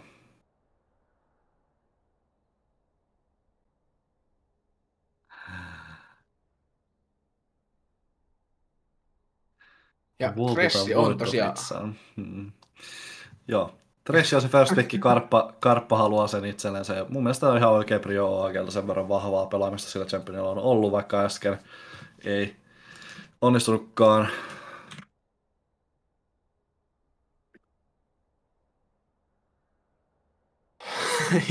ja nyt pitää keskittyä draftiin. Tosiaan kautta insinöörit vastaan. Tressi on lyöty OAGlle sisään, ja Samira lyödään insinöörien puolelta sisään, ja katsotaan mikä siihen kylkeen nakkastaan mukaan. Joo, sieltä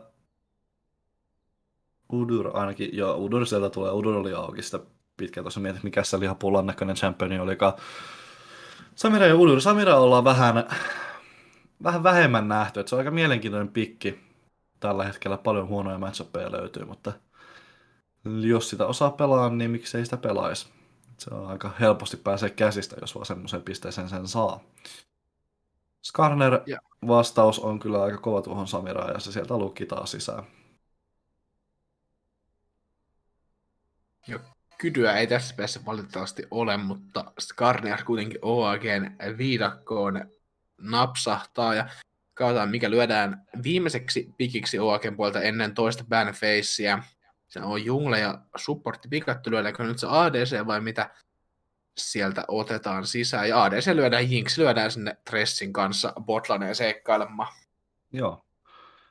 Kincap Vinci Skarner eilen yksi antoi aika PTSD allekirjoittaneella. Jinx on semmoinen, joka antaa varmaan aika monelle pelaajalle PTSD. Ja, ja kun siellä on Jinx pikattu, niin Olaf on silloin bännettynä. Ja nyt sieltä tulee se nautilus, tota, pääsee hajamieli pelaamaan tuota championia, mikä äsken oli noissa bänneissä.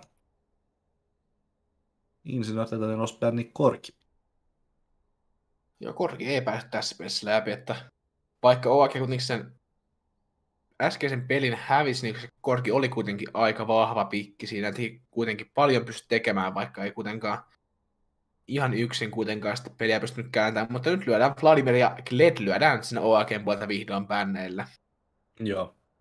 Nyt sitä lähin champion on vähän lisää ahdistettu. Jogati sieltä kuitenkin tota, on Insinööttien toi vitosbänni. Setti nelospikkinen. Joo. Tässä on tietynlaista fleksipotentiaalia ottaisin kuitenkin, että tämä topissa on vähän mielenkiintoinen blind pikki. Toki on ennenkin näitä toplaneita flexannut midiin ja settiä jonkun verran aina ajoittain siellä on pelattu. Ä? Ä? Darius? Oh, ja Darius lyödään OAGn ja katsotaan mikä sinne midiin vielä napsahtaa vikaksi. Aika lailla... Hmm. Jos tämä on nyt Darius setti tople, niin käsittääkseni tämä aika lailla 50-50 lane tällä hetkellä. Että siinä on jo... Setti pystyy hyvin pilaamaan Dariusta pois faiteissa, mutta Lanella ihan vähän ehkä Darius voittanut. En ole aivan sata varma tuosta. Annie kuitenkin siellä tulee Oakelta midiin ja joo, tämä on ihan mielenkiintoinen. Tämä on ihan mielenkiintoinen. tähän. Joo, mielenkiintoinen pikki tämä Annieta. En tiedä, onko Oakelta aikaisemmin nähty Annieta. En ole, ainakaan itse en ole, tai omaa silmää ei ole napsahtanut, että olisi ainakaan Allissa pelannut Annieta aikaisemmin. Oli viimekin, viime viikolla muistaakseni oli ainakin yksi Annia-peli. Ah, no okei, okay, sitten on väärässä, mutta Ahri lyödään sitten siinä Annie, Annie vastaan Midlanelle. Ei ollutkaan viime viikolla, milloin se olikaan? Muistako, että joskus oikeastaan olisi pelannut. Ahri on ihan hyvä vastaus tuohon Annie, että pystyy Lanella pysymään A tarpeeksi kaukana Anniesta, tai Anni ei pysty häntä ilmasti treidaamaan, ja B, jos lääntää Charmin, niin Anni on aika kuseessa siinä vaiheessa. Sillä on vähän aikaa siellä odotellaan noita pelaajia, siellä on rakkoja tyhjennettävänä, ja varmaan kohta puolin, kun päästään tuohon oikeaan draftiin, niin, niin, niin näin. Mutta tosiaan, uskotko, että OAGlta muuttuu nyt ollenkaan tuo äskeinen pelityyli, että pelataanko se alkupeli vielä yhtä aggressiivisesti, kun pelattiin siinä ensimmäisessä pelissä? No tappipuolella on ihan niinku mahdollisuudet siihen, että Darius tykkää ottaa early rehtiä ja siihen kun lyö vielä Skarnerin kylkeen, niin sieltä on setti on ihan poimittavissa tuolta mutta samalla sitten Midi ja Botlane on vähän sen näköiset, että noilla ei varmaan ihan hirveästi tule tapahtumaa, ainakaan heidän kannalta, että Insinööttien Botlane on enemmän semmoinen, joka haluaa ehkä ottaa niitä rehtejä. Samira Nautilus on kuitenkin aika voimakas lanekombo, kun taas Inks haluaa mieluummin skeata tuonne leittiin päin. Kyllä nyt tosiaan vihdoin taitaa pelaajat olla ready ja päästään, päästään oikeasti draftelemaan nämä, mutta puhutaan me sillä aikaa vähän näistä, vähän näistä matchupeista. Top lane matchup tässä mielessä tullaan tosiaan näkemään, se on Darius Set. Sitä äsken ja pikkasen puhuttiin, että aika 50-50 on, mutta mm. miten uskot, että nämä pelaajat tulee tuon topin pelaamaan? Kyllä mä näkisin, että tämä on jopa Dariukselle vähän pitäisi olla niin kuin early laning parempi, mutta Settihan on semmoinen championi, että sä, jos sä haluat pysyä semmoisella tietyllä etäisyydellä setistä, niin se on aika vaikeaa. Ja Darius tarvii sitä just sopivaa sweet spottia, että saa niitä hiilejä settiä vastaan. Mä en ole lähin settiä kertakaan nähnyt, mutta uskoisin, että sen verran tasoinen pelaaja kuitenkin että pystyy pelaamaan sen Dariuksen rangen ympärillä ja olemaan siinä guun sisäpuolella just sopivassa ajan ja vedellä sitten eellä ihan mielin määrin Dariusta turpaa. Toi Jungler tulee vaikuttamaan tuohon matchappiin kyllä aika paljon. Jos Gardner matchup nähty aika usein itse asiassa Allissakin. Nyt on vähän mm. aikaa ei ihan jäätävästi Gardneria olla nähty, mutta pikkasen sekin herra alkanut päätää enemmän taas uudestaan nostamaan Junglessa. Ja mielenkiintoinen matchup sieltä, että Udor usko, että alussa pystyy aika hyvin kyllä antamaan Skardnerille rehtiä ja pystyy sitä kouluttamaan, mutta Skardner varsinkin teamfightissa on, on tosi iso tuohon Sameraan ja pystyy aika helposti senkin shutdownaamaan kautta ton Ahrin tuolta, mikä on helppoja pikkejä, mitkä mitä, ja sanat kyllä kurkkuu kiinni, on aika mobile pikkejä molemmat, ja pääsee jota... Mitä? Pääsee. Jos sä hoidat tän osuuden. Joo, että... Mitä se voi tehdä? No, Kerro siis meille, Teppo, Skarner... mitä se Skarner voi tehdä? Se voi lukita sitä Samiran tai Ahrin alas tai vaihtoehtoisesti molemmat, jos niin sopivasti on cooldown ehtoa. Että Ahri ja Samira molemmat kuitenkin haluaa divetä näissä fighteissa jonkun verran tuohon Jinxin päälle ja Skarner voi sitten vaan painaa sitä legendaarista ultinappulaa ja stingerata niitä vähän, se pyörittää vähän pebbua siihen malliin, että siellä on Samira tai Ahri vähän ongelmissa sen jälkeen ja nämä aika lailla räjähtää tuon kommin käsittelyssä niin puolentoista sekuntia. Tuota minä tarkoitin tosiaan midlane matchupina tulee näkemään Anni ja Ahri. Ei ihan kauheasti ainakaan Allissa olla tätä matchupia nähty.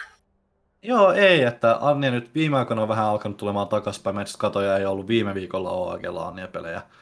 Olisiko ollut Stärrisellä tai jossain muussa sarjassa, missä se olisi tullut vastaan, mutta esimerkiksi Jensen sitä tota, LCS-finaaleissa pyöritti. Aika mielenkiintoisen näköinen pikki siinä mielessä, että Lanella pystyy nykyään aika safeasti olemaan siihen. Eihän tuli jonkun verran muutoksia ja tehnyt Annin training patterneista vähän paremmat. Mutta kuitenkin Ahri on semmoinen pikki, että sä pystyt aina pysymään Annin rangen ulkopuolella. Ja jos Annia tulee vähän huonosti ottamaan tradea, niin sulla on aina se charmi ja se sun een true damage, tai kuun true damage osuus. Niin nämä on vähän semmoisia asioita, mitä Annien pitää tuossa tietyssä matchupissa varoa aika paljon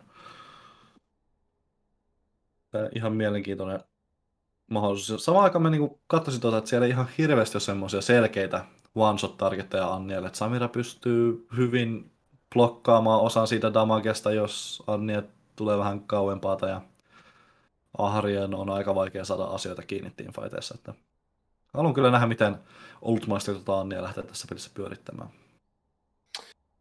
Kyllä, ja nähdään YV-spesiaali Jinx Stress, ja vastassa tosiaan Samira Nautilus, mitä ollaan aikaisemminkin Insinööriltä nähty. Joo, tämä on aika perinteinen säkätään lane OAGlta, että siellä ei oikeastaan tule tapahtumaan yhtään mitään. Heille, niin heille se optimaalinen lane on, että sillä ei tapahdu yhtään mitään. Ja Tressi pääsee vähän roomaamaan, ottamaan irti ja Skarnin kanssa ehkä käymään vähän hätyttämässä Uduria junglassa. Realismi on kuitenkin se, että Samira Nautilus, jos ne jättää sinne keskenään Jinxin kanssa, niin voi olla, voikka olla aika ikävä iltapäivä tässä tänään. Että toi Samira Nautilus kyllä niin tuon 22 tulee hoitamaan. Eikä kyllä. missään nimessä ole huono Rooma ja Nautiluskaan. Sitten kastaan joukkueiden team komppia, niin heitä taas kumman komppi näyttää paremmalta. Jos mä saatiin insinööriteillä on parempi komppi. Minkä takia?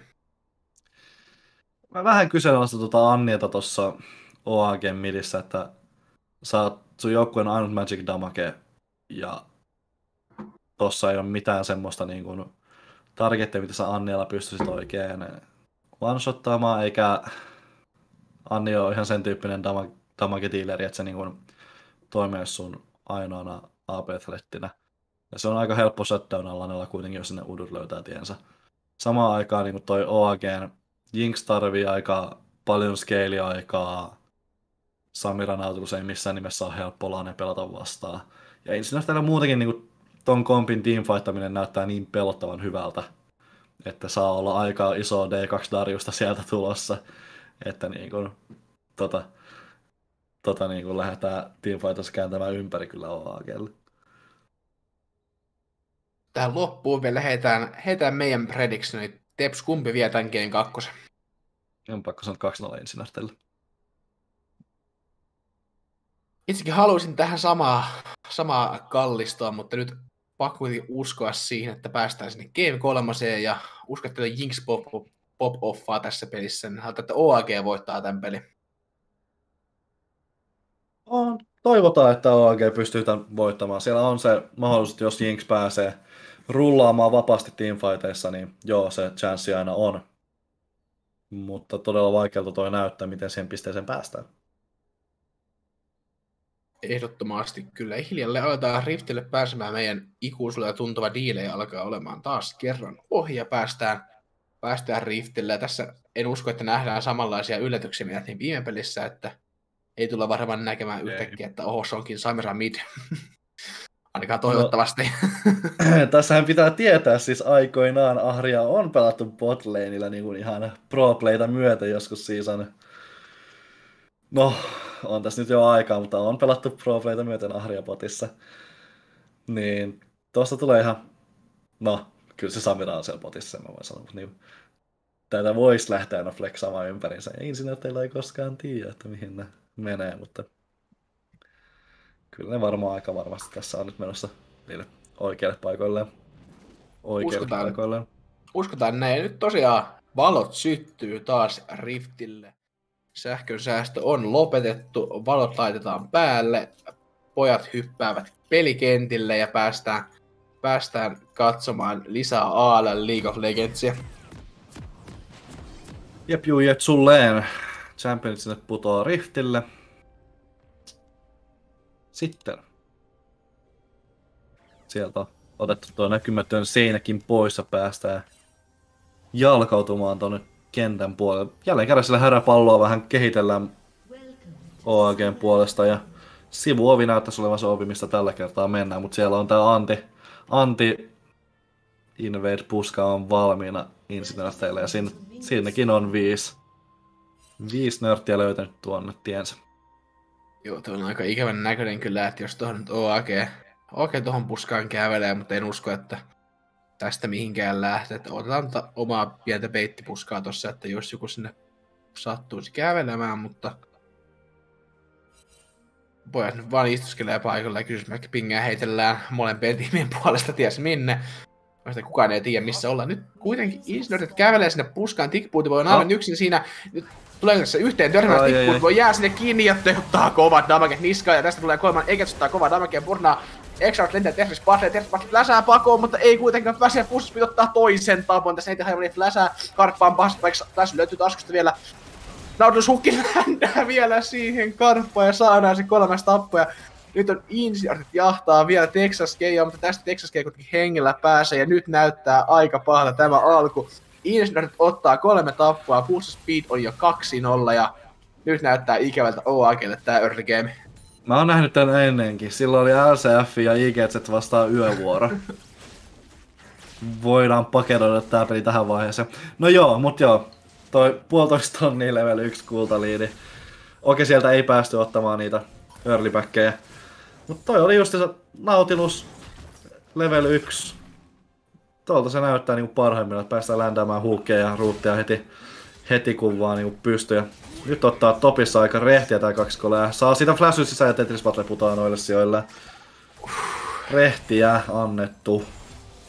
Rehtiä on annettu nyt sieltä ja Tetris Battle ei ihan, ei ihan vielä kuu cooldowni riittää, että olisi lähin saanut olla sillä oikein viksusti flashaa ja ottaa ja tapoin. Nyt kuitenkin ottaa, nyt Lää. On aika paras paikka, Terse Battle ottaa lähin sisään lähiltä, ei löydy flashia, nyt Lää kyllä pikkasen oversteppaa varmaan tässä, vai oversteppaako sittenkään, ottaako Terse Battle mukaan, tästä ei ihan saa Terse Battle ottaa tästä Dariuksella niukan tapon, mutta ottaa tapon kuitenkin, ja Toprian vaihtavat tappoja oikeastaan pelkästään.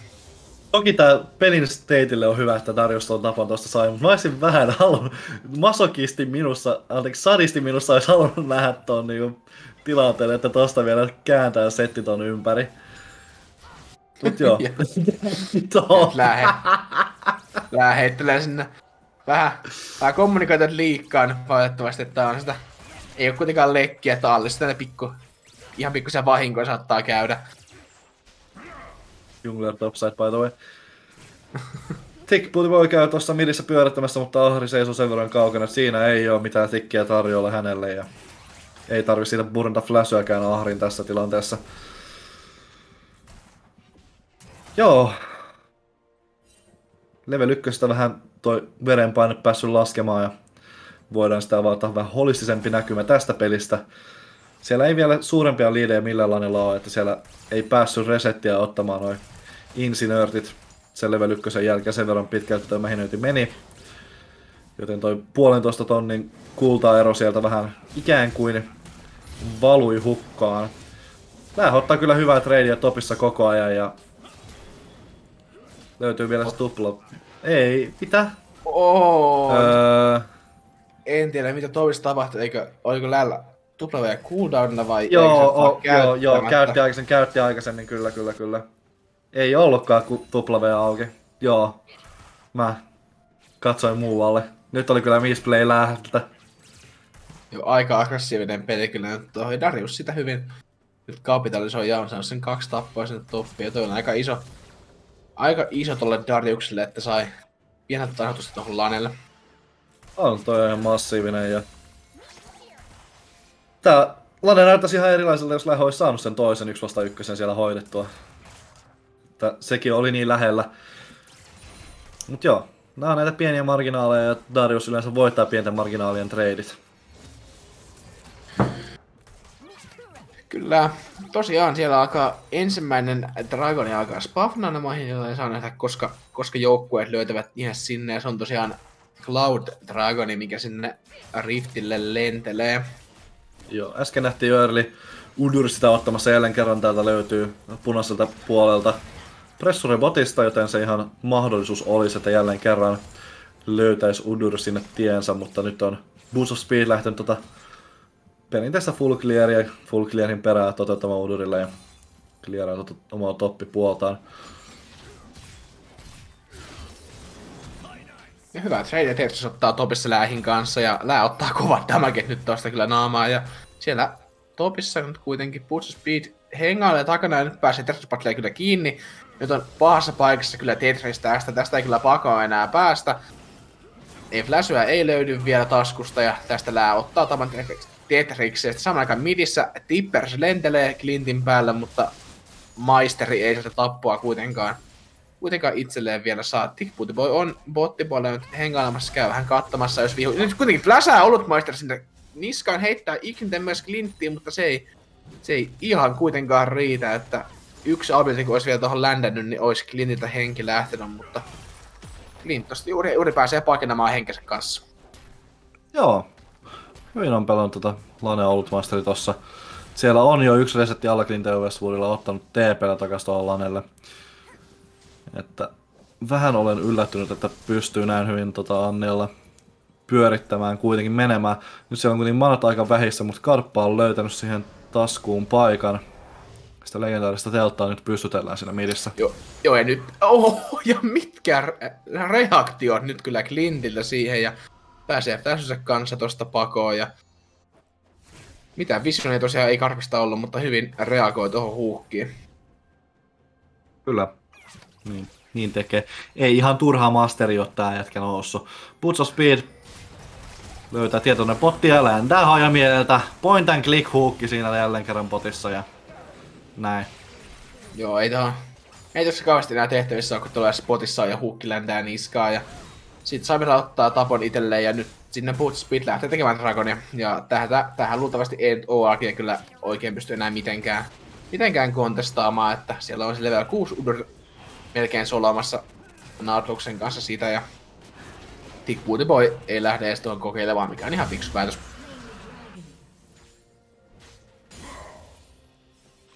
Kyllä. Siitä jälleen kerran Udurin omaavalle joukkueelle ensimmäinen Dragoni. Nyt midissä Clint Westwoodilla aika paljon seuraa. Karpan tää, tällä erää toi huukki ländää. Ihan tikki päässä seuraamaan loppuun saakka Lanternista. Ja toi kettutyttö on aika kuollutta tuossa midissä. Joo, nyt Karpa on hyvin pelannut tämän Roumi-pelin tästä ja hyvin päässyt roomaamaan tässä pelissä. Otti nyt, nyt vihdoin saatiin tappo tuon avulla ja mm. Clintin mm. henki saadaan pois. Sillä Pusspeed on nyt bottipuolella, lähteekö kohta hakemaan visionia. Ei kyllä OAGlta juurikaan yhtään sitä bottipuolelta löydy, jos Pusspeed haluaa tietysti löytää, mutta luultavasti suosiolla lähtee vaan, lähtee vaan full felle, mikä on hyvin udurmaista. Kyllä.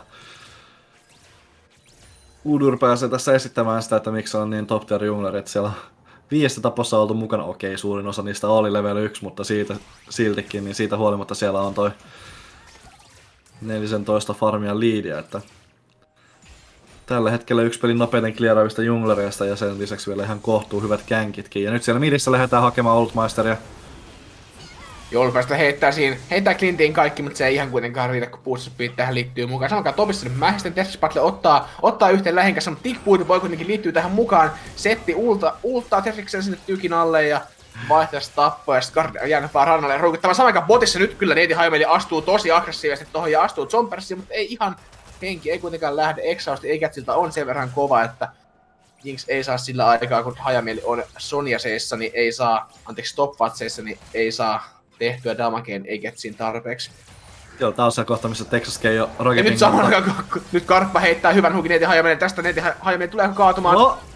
Tulee kaatumaan Texas Kei Flashaa, Egets on, on siellä sisässä, Flashaa, Flashaa Karpan niskaa, mutta ei ihan riitä ottaa Texas toisen tapon itselleen. Riittääkö Range ihan heittää ulti ja ottaa Egetsin Kyllä. ultilla pois. Ja tästä siinä menee kaksi tappaa Texas Kei ja Jinx alkaa pikkuhiljaa saamaan sitä ruokaa.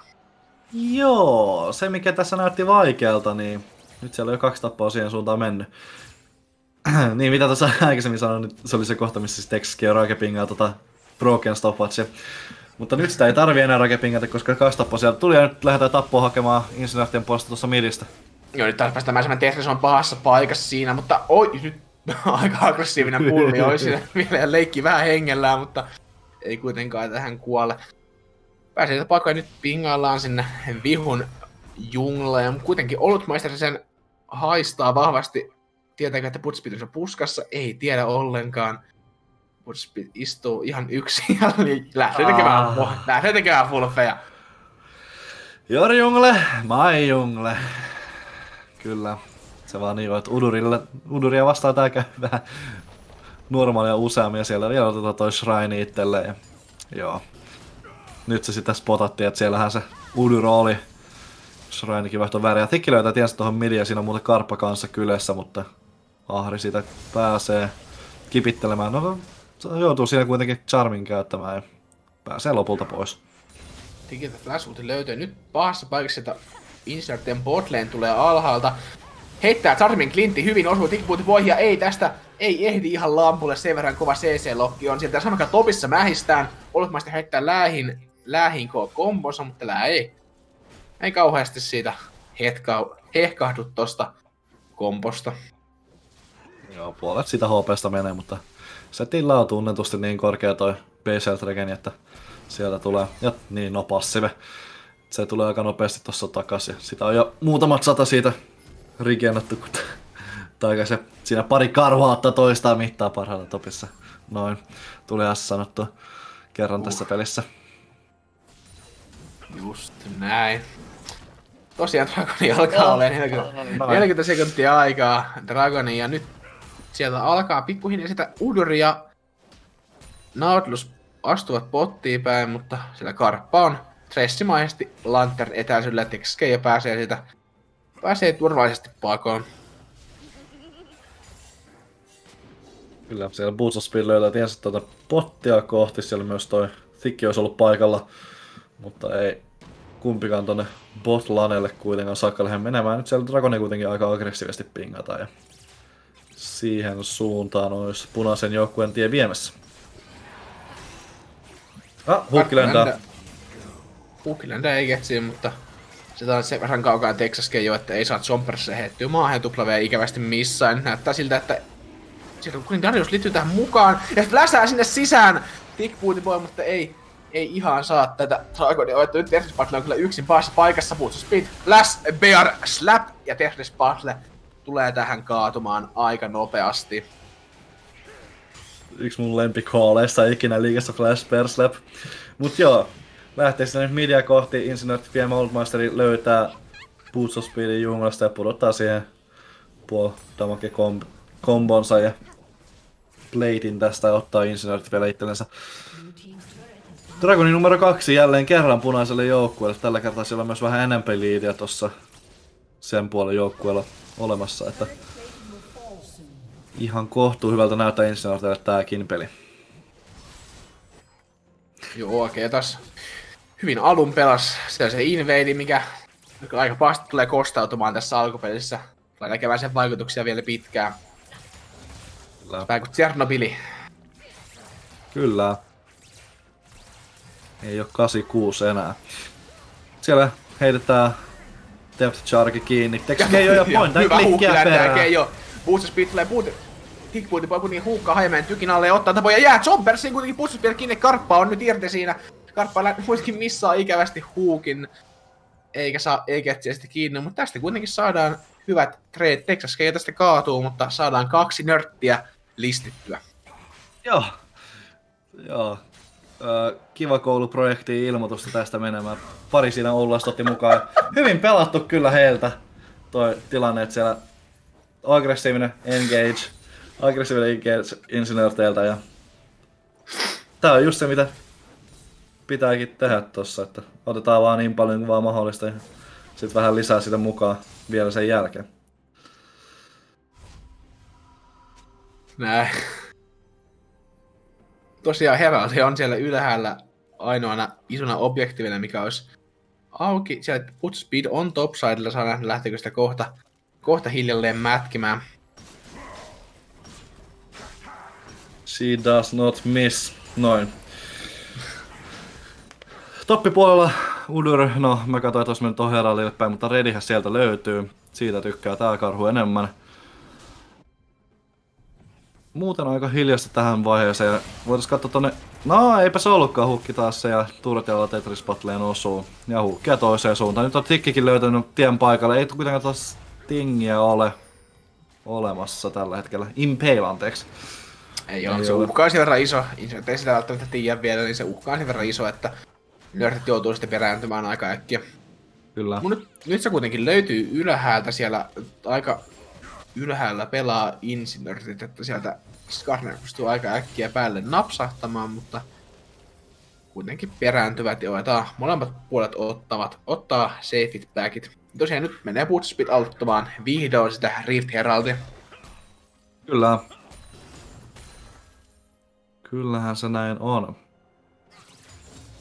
Niin noita itse meitä äsken menisin kat- sanoa, että katsotaan, niin Sieltä löytyy aika paljon healingia muuten tuosta Insinöörtien puolelta ja pikkuhiljaa tarjosi tota Grievous Woundsia. Yhtään ei ole buildattuna nimittäin sitä vielä OAGlta. Löytyy kuitenkin toi Blade of the Runekin. Joo, ihan riitä tosta, ei osu. Ei osu Jinx ulti tällä kertaa. Niitä on nähty muutama stiili hallissa ja nimenomaan Texas Keijoltakin viime viikolla yhden Redin pölli silloin. Ja Duskin oli... taikasanat jäi nyt sanomatta, että kuinka kauan ne on vielä tehnyt tai kuinkahan lovi se on. Näin, Tikki löytää tiensä miniin. Niitä Hajameen heittää huukin siihen, mutta Tikki on sen verran iso äijä. Nyt kuitenkin ottaa Hajameen kiinni ja nyt hyvä kombo oh. kuitenkin Pressin kanssa ja saadaan sinne tykin alle. Nyt oli kyllä kaunis. Kaunis no, peli OAGlta. Luulisin, että Nautilus olisi oppinut, että noin syvälle ei kannata kuitenkaan sukelta. Ei, mutta hienosti haettu sieltä Thikiltä ja Karpalta toi kombo. Nyt siellä lähdetään kuitenkin uudestaan engagea hakemaan insinöörteiltä. Jumperit löydetty. Miten sen kummempaa tästä? Joo. Tästä ei kuitenkaan saada. Glid ei ole no. hakee jotain pikkejä, mutta ei, ei ihan ländää sarmia. Samaan aikaan kuitenkin lää puskee toppia alas sieltä ja Terrasipatla puskee bottia puolestaan ja haetaan molemmilta laneelta tykit. Rakoni alkaa tosiaan 15 sekkaa olemaan aikaa ja Udur siellä sen verran hoveraa, että tää taitaa olla insinöörttien Dragon hiljalle. Mutta siellä kuitenkin löytyy Tetris Battle botista. Ja nyt Joo. sinne kuitenkin nyt alkaa Butcher Speed, se meidän Tetris Battle on aika diivissä, Butcher Speed juoksee ja joutuu tästä, joutuu fläsäämään pakoon, että ei tule stunnia karhulta. Siinä oikein kuitenkin on posted up siellä Baronin takana.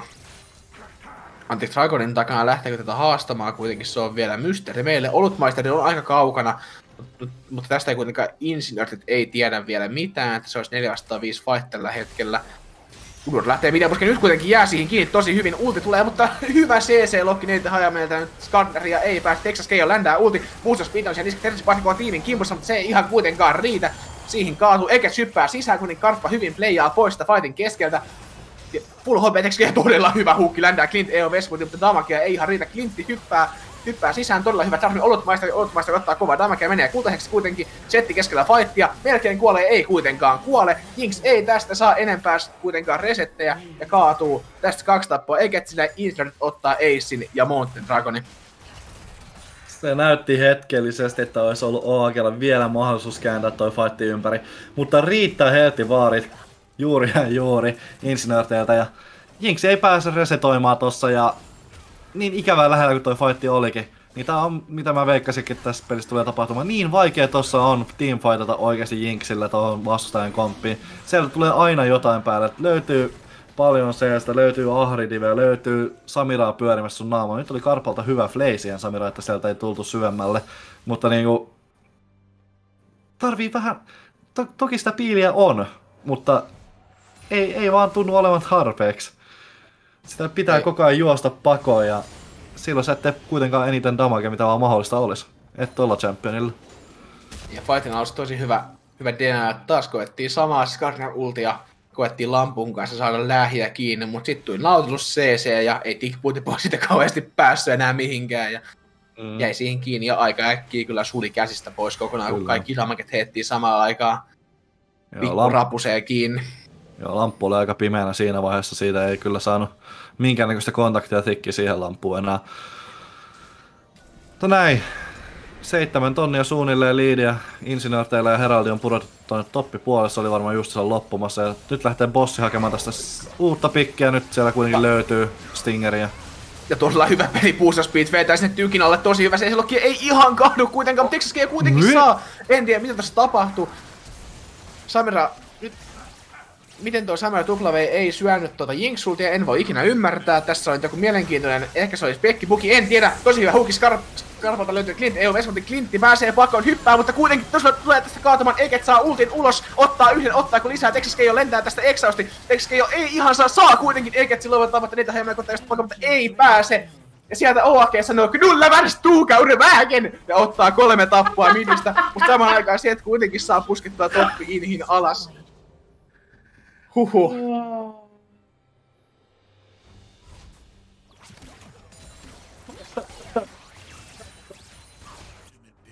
Joo, tää tosin oli 4 vastaan 5 fight, että joo, joku damage on ollut pakko, mikä on turretista tai jostain minioneista tullut tonne niinku loppuun saakka, koska muihin se ei tehnyt se Jinx Ulti Splash damagea.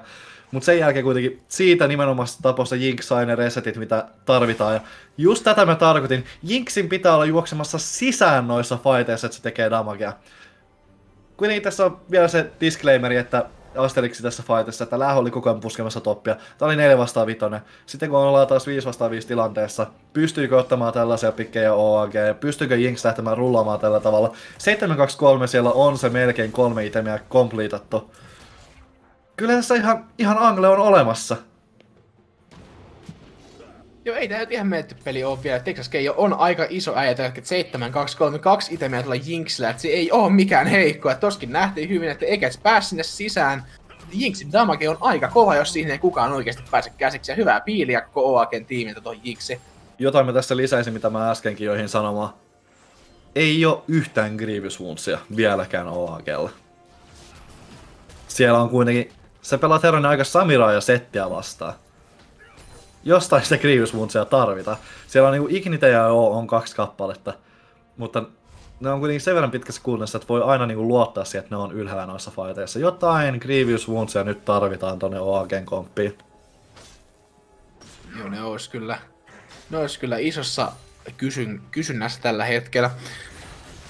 Lää on nyt siellä botissa puskemassa, nyt on ollut maita, että passa vaikka puusta speed hyökkää sinne niskaan, ja tästä kyllä, tää on kuollut Anne, ja tähän ei oikein juuta eikä jaatava sana, mutta nyt kuitenkin Ohaken tiimi on siellä aika kovasti, pystyykö, pystyykö tähän kollapsaamaan sisään.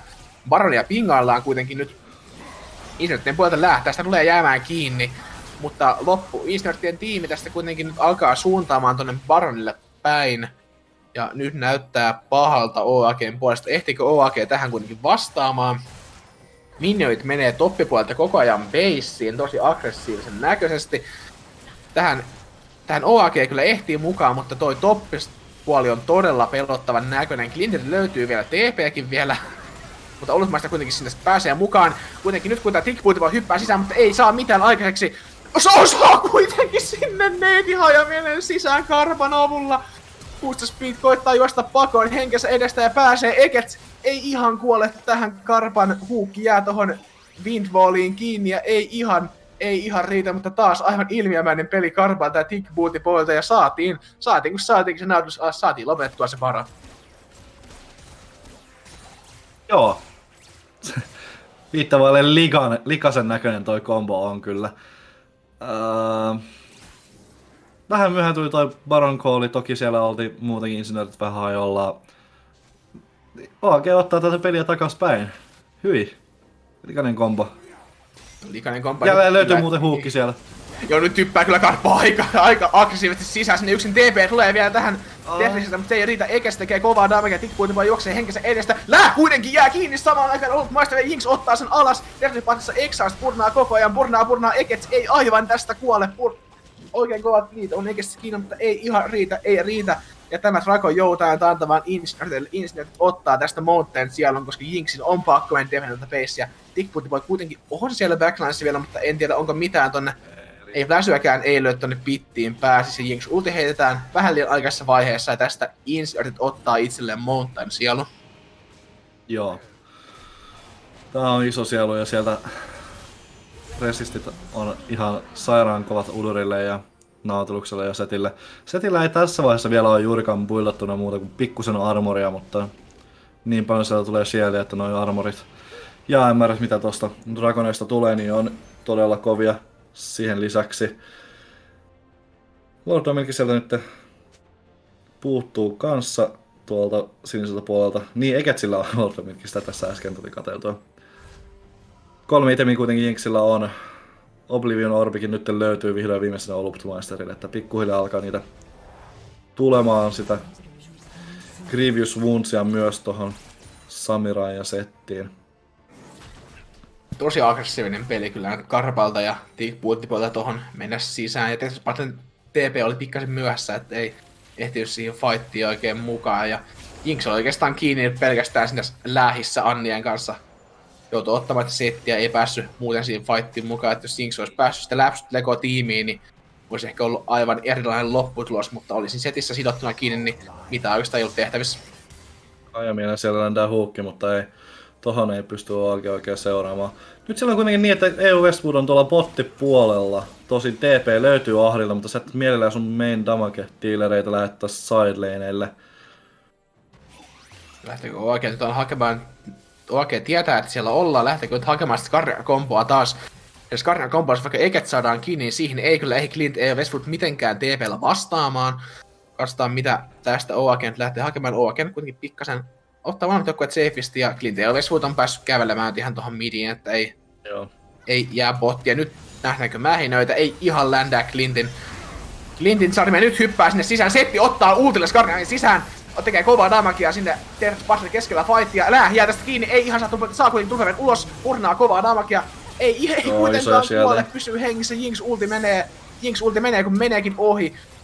Haimalle ei ihan ländää tuota flash kuuta ja siitä tikkpuutimot ja kaatuvat ja se on kaksi tappaa Infinite näyttää, että nörtit pääsee tästä aika ilmasta Baronia hakemaan, mutta siellä kuitenkin on vielä kolmikko full HP-na. En, en kyllä usko, että tästä lähdetään, lähdetään mitään hakemaan, että siellä sen verran isot pojat kuitenkin Baronin kimpossa on, ja tästä isot ottaa itselleen mm. Baronin. Kyllä. Ja siellä chatissa just nostaa toi Evo pystyyn, että Lää jäi tossa niin lovella hopella henkiin ja Mä kävin katsomassa replay. Siellä ei ole Grievous Wound siellä lähissä kiinni fightin loppuvaiheella ollenkaan. Ja se lifestyle oli iso osa, mitä piti tuossa helossa settiä. Tosi pitkä ja iso shieldikin sieltä tuli vielä, että... Jotenkin tosta pitäisi päästä polttamaan läpi. Siellä ei ole juurikaan restejä, siellä ei ole juurikaan helttiä. Jos te saisitte sen vaan lokattua kiinni, sen jälkeen, että te ette anna sille sen shieldin jälkeistä lifestyle-mahdollisuutta, setti tuli jos kaatumaan suhteellisen helposti. Mutta Jos... nyt, nyt alkaa olemaan taas semmoinen piste, että insinöörit on niin vahvoja, että tästä tulee todella, todella vaikea enää kavuta takaisin oikealle. Joo, Jinx on kyllä päästävä ja jäätää pop-offiin tässä, jos me tässä Samilla pitäisi saada melkein kiinni tai setti mm. kiinni. Mm. Jompikumpi mm. pitäisi räjäyttää aivan täysin ennen fightia. 5 vastaan 5 fight, jos lähdetään puhtaasti hakemaan, niin en kyllä ei, näe maailmaa, missä OAG sen voittaa. Ei mitään jakoa 5 vastaan 5 enää. Yhdeksän tappoa siellä joo Jinxille löytyy mutta Jinxin pitää päästä rullaamaan jotenkin niissä fighteissa. Se, jos kaikki jää eloa siellä, niin et sä, et sä voi mitenkään sitä fightia voittaa, vaikka siellä kuinka Jinxi olisikin mukana. Nyt jää Tetris Battle ensimmäisenä kiinni. Tetris jää sinne kiinni, Tikkipuutti voi kuitenkin vetää saman kombin, nyt vetää Eketsi sinne putspinnin sinne sisään. Tekee kovana, tavallaan Speed pääsee tästä tasaamaan pakon, eikä siltä GA purnataan tässä saman aikaan setti mättää. Nyt kyllä bottia turpaa sen verran kovaa, että on ottaa tykiä ottaa nyt inhiä, sinne lähtee nyt OAG kollapseemaan setin päälle, heittää kovasti tunnit Annia settiin, Anni set ei saa tästä ultia, nyt räjäytetään Lää kyllä aivan täysin, Lää painuu huit helvettiin maailman kartalta, ja Texas Key on, Texas Key lähtee menemään eteenpäin, mutta tästä ei kuitenkaan OAG enää kiinni pääse. Niin tästä back offaa, ja saadaan Lää, Lää kuitenkin tapettua, mutta Lää kuitenkin ottaa sieltä botlane turretin ja botlane inhibitorin kostoksi. Kyllä. Vähän kusipuskaa tässä vielä pistetään. Pystyy, painakaa nyt sitä p ei sinne enää ole eh. tulossa yhtään vankilaista. Älkää nyt kävelkö pojat tonne, älkää kävelkö. Come on, come on painakaa sitä p-nappulaa. Sillä otetaan toi Baron kohta loppuun, ehkä otetaan viimeiseen asti, että saadaan vielä kaikille Baron back ja Kaitais joku siihen nyt kävelisi Garner midissä. Oh, Tetris. Ei, älä, Tetris. älä kävele sinne, älä kävele sinne, se älä spotat. kävele. Se on spotattu, joo, joo se on spotattu. Joo, nyt, nyt se koska Accident lentelee chattiin sieltä ja aletaan ne Baron backit mitä heitään ja aletaan fighttaamaan tuosta Elleristä. Mihin on 40 sekuntia aikaa ja uskon, että tähän tämä peli tulee nyt kyllä päättymään tai jos Insert tämän fightin saa, niin tässä on mahdollisuus kyllä laittaa viimeinen naula arkkuun tässä Etherille, että tässä on pakko nyt fightata. Tässä ei ole enää mitään, mitään muuta chanssia OAGlla ole, ja OAG lähtee sinne nyt valumaan mm. hiljalleen, niin kuin lähtee myös insinörtit. Tässä on kaksi viikkoa alettu naulaamaan jo Oagen arkkua kiinni ja nyt on insinöörit naulamassa niitä viimeisiä kiinni. Nyt on Tetris pahassa paikassa, Lää tulee Boots Speedin kanssa kiinni, mutta Tick on kuitenkin siinä mukana. Saako Läähin kiinni? TP tulee kuitenkin Linteo Vessulta tähän ja tää tilanne loppuu tähän. TP purnataan, Tetris ei ihan tähän, kun löytyy oma TP kuitenkin, jos haluaa vielä backin kautta käydä. Backin ottaa tähän TP, löytyy Dariukselta vielä. Mitään isoja cooldowneja ei kukaan tuohon kyllä polttanut, muuta kuin sieltä Turbo Int-tankki Udorin puolelta käytettiin. Ja nyt kaatuu Elder aika äkkiä. Nopean näköisesti siellä yksi levun isompi Smith löytyy bussissa, mitä Jinx ulti lentää aika aikaisessa vaiheessa. Clint on backlineissa. TP tulee todella hyvä tunni Anni, että sinne hyppää muu tiimi sisään. Jinx tekee kovaa damagia, kaatuu yksi, ottaa Udurin, ottaako toisen, ottaa myös toisen. Nyt on nyt on kuollut vastaan Jungle, ja sitten Jungle on kuollut, ottaa tästä Elder, ottaa Elder, Clint ei ole Westwood ja kiinni, Dick hyppää niskaan kiinni, Tästä Clint tulee kaatumaan flashaa, mutta se ei kuitenkaan tule ihan riittämään. Elder ottaa alas samaan aikaan. Ekets koittaa vähän Tersis kanssa. Ja pärjää juuri ja juuri. Ja mutta nyt ei kuitenkaan riitä. Siihen tulee olutmaisteri mukaan, Ei mutta Lää on samaan aikaan beesissä. Ottaa, ottaa Nexusta, riittääkö se? Ei riitä, ei. ei. riitä! Ihan sieltä saa Texas Keijo ja Tick Booty voi juuri shutdownattua ton backdoorin. Ja, si- ja insinöörit eissataan. Ja siitä ottaa OAG itselleen Elderin takataskuun. Jinx oli täysin koskemattomana tuossa fightista. Lähiltä huikea call lähtee yrittää endiä. Ilman sitä ultia, mä uskon, että se olisi voinut endata tämän pelin. Ilman tota ultia mä olisin uskonut, että olisi voinut endata tämän pelin. Ja jos se olisi jäänyt vaan mättämään, niin en tiedä, olisiko, olisiko damage riittänyt. Jinx kuitenkin oli siinä, että olisi voinut ehkä Jinxin damage riittää, mutta se olisi aika tiukolle mennyt. Mutta en enää aloita jossittelemaan, se tilanne on nyt mennyt ohi, ja 50 sekuntia alkaa olemaan tosiaan Baroniin. Siellä on kuitenkin Nexus auki. OAG, TPtä ei kuitenkaan nyt löydy Clint EO Vesulta eikä löydy Läähiltä, että semmoista jumala backdoor TPtä ei tulla tässä näkemään. Ja nyt OAG haluaa vaan lykkiä ton botin pitkälle, että pääsee, pääsee haastamaan tota Baronia ajoissa. Ja tuo Baron on kyllä kans aikamoinen kuolin isku OAGlle tässä vaiheessa, kun siellä on jo yksi inhibitor, inhibitor paljaana, paljaana, toinen kuolti Nexus aivan alasti ja yksi tykki seisoo vaan midissä enää suojaten inhibitoria. Nyt on Clint pahassa paikassa kyllä, jos meinaa tuosta lähteä jotain hakemaan. Guardian on kuitenkin botista Baroniin 10 sekuntia aikaa, ja kukaan tiimi nyt ei kyllä sinne Baronille päin lähde kävelemään, että nyt kävellään bottiin päin, ja nyt on kyllä neitä Haimille eikä pahassa paikassa, jos ne tästä spotataan kunnolla. Ei kuitenkaan nyt spotata, että on noin off-positionissa, ja OAG tästä perääntyy. Lähteekö OAG nyt kuitenkaan ollenkaan tätä Baronia haastamaan? Se on kyllä mielenkiintoinen veto, jos ihan ilmaiseksi tämän antaa. Peltääkö sitä backdooria niin paljon, että ei lähdetä haastamaan? Siellä kuitenkin on Clint EO Westwood up- Westwood. Ja Clintti spotataan sieltä ja ei pääse yllätys backdooria vetämään. Muu tiimi nyt on kuitenkin siinä Baronin kimpussa kusipuskassa odottelemassa. Mutta Aagella on vision, että sitä ei ole aloitettu. Joo, Akilla on visio Mä en siellä. tee mitään. Blue näkyy nyt siellä vielä. Sitä Insight ei... Eikö Insight tajua, että siellä on Blue Ward siellä pitissä, että... Ei. Pikki poppaa Kemtäänkin, nyt kuolee Ahri. Nyt pitäisi aloittaa Baron jo. Jo nyt on Ahri päässä paikassa, Skarppa heittää hyvän huukin sinne.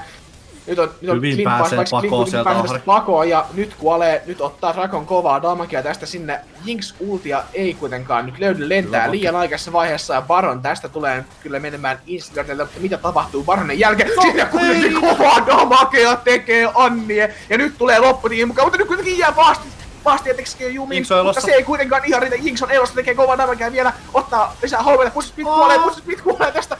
Kuoleeko? Kuolee lopulta. Jinx ottaa yhden, Jinx ottaa toisen. Clint EU Westwood koittaa just pakoon, mutta ei pääse tästä kuitenkaan pakoon edes Jumalan voimalla enää. Tästä tulee kuolemaan ja Death nyt alkaa näyttämään kyllä nyt aika pahalta siltä, että OAG tästä ottaa tämän voiton. Lää on koittaa backia, Tickpoint voi ei ehdi kuitenkaan tätä backia stoppaamaan. Se Death on 30 sekuntia, 40 sekuntia, sekuntia ja 30 sekuntia vielä ehtiikö sitä OAG enää. Me OAG kyllä selvästi hakee tästä nyt endiä. Inhin kimpussa ollaan. Siellä Jinx kuitenkin löytyy ja pelkästään lää.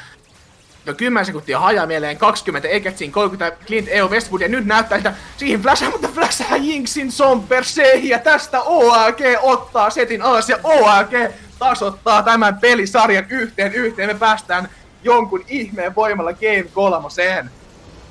Insinöörtien puhdas strikki on poikki!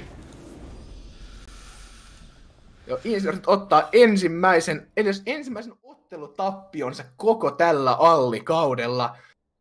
Ja uskomaton comeback OAGltä.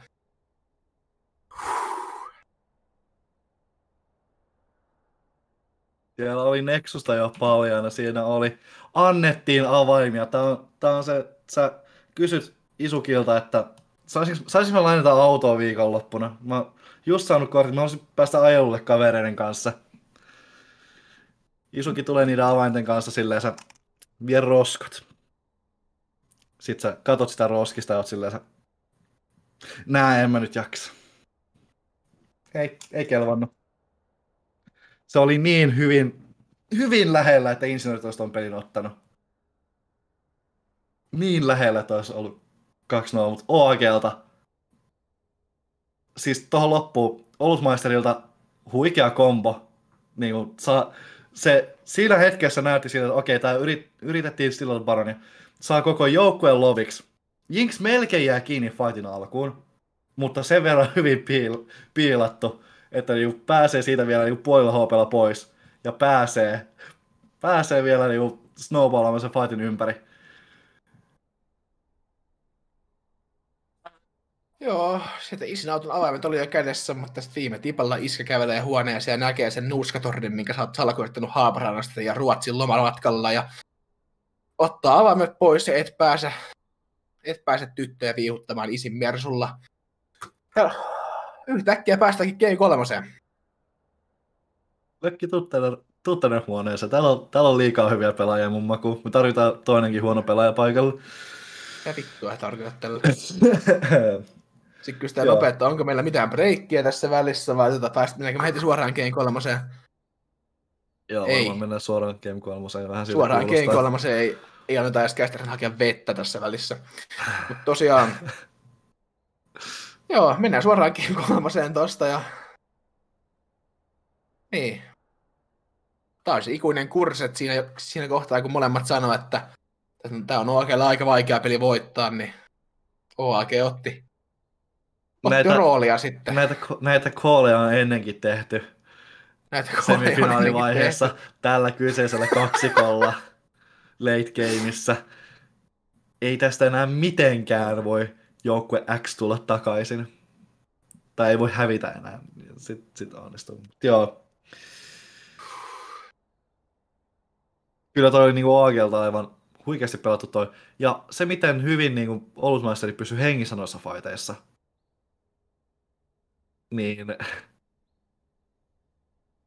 työkaluja oli insinööreille, työkaluja oikeasti oli.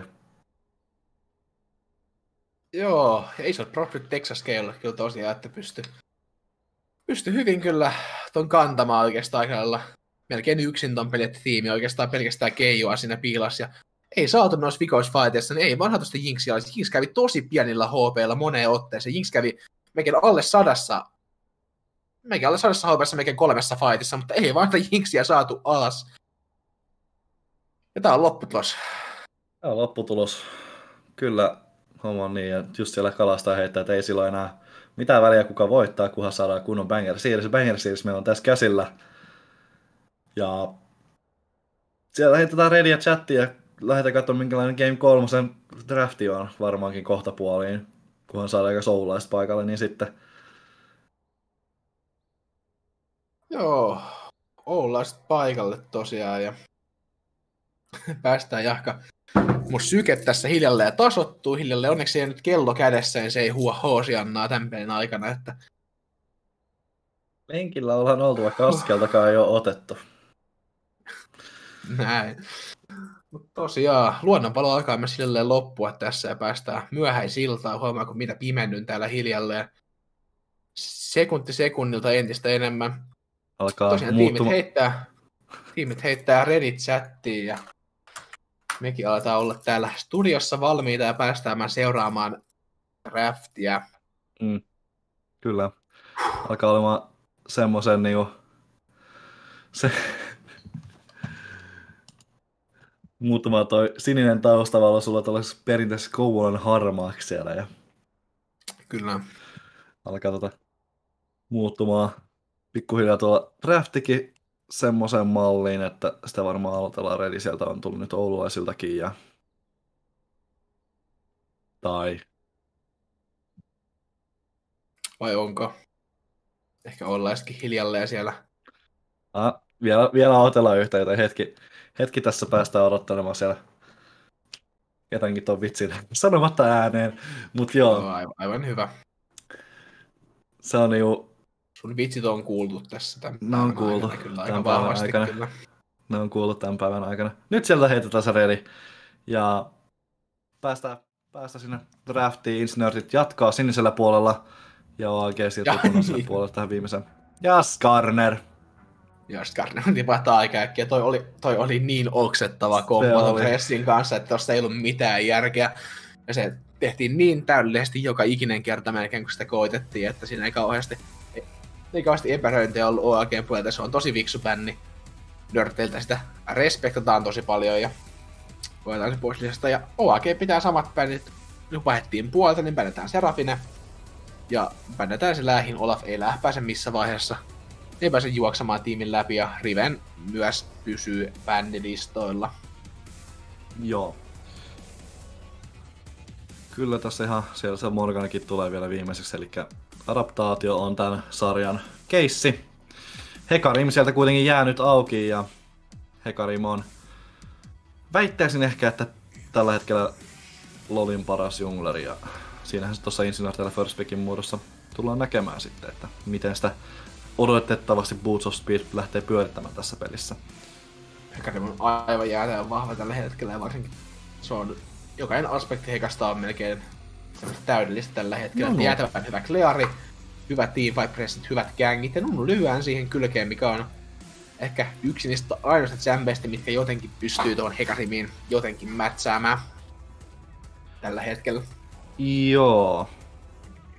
Minullakin on mielenkiintoisia gankkipäthejä, että monet junglerit tulee laneille sivusta, Nunu pystyy tulemaan laneja pitkin.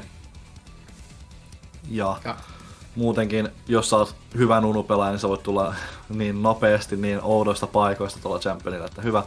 Jälleen kerran kun Karppa pääsee pelaamaan Threshia, että vaikka sille sitä Skarneria ei ole, niin jatkuu tää Thresh abusa ja mun mielestä Karppa on ihan hyvin tuolla kyllä kahlinnut insinöörtejä alas aina, että ihan hyvä pikki tähän väliin.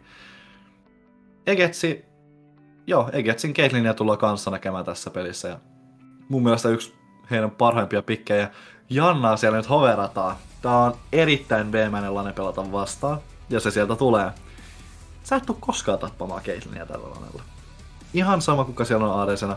Oikein ei tuu koskaan koskemaan Caitlinia. Mä tiedän, että Hajamieli on sen verran hyvä Janna-pelaaja, että niinku, edes toi Nunu ei tuu koskaan koskemaan Caitlinia. Caitlyn ei tuu menettämään ensimmäistäkään hippasläissyä tällä niin lanella, sillä se olisi oikeasti vaarallisen, niin vaarallisessa pisteessä.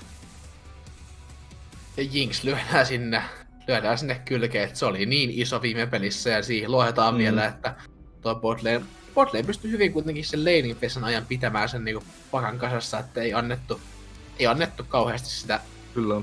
johtoa sinne, vaikka siellä olisi Nautilus Samera vastassa, niin ihan kyllä kunnioitan tätä pikkiä. Toi Carpentressi on ollut aivan jäätävän hyvä tänään joka ikisessä pelissä, vaikka eka peli hävi, hävisivät ensimmäisen pelinkin, niin aivan jäätävän vahva huukit vaan ländäävät, ne on kuin magneetteja, niille ei vaan voi mitä.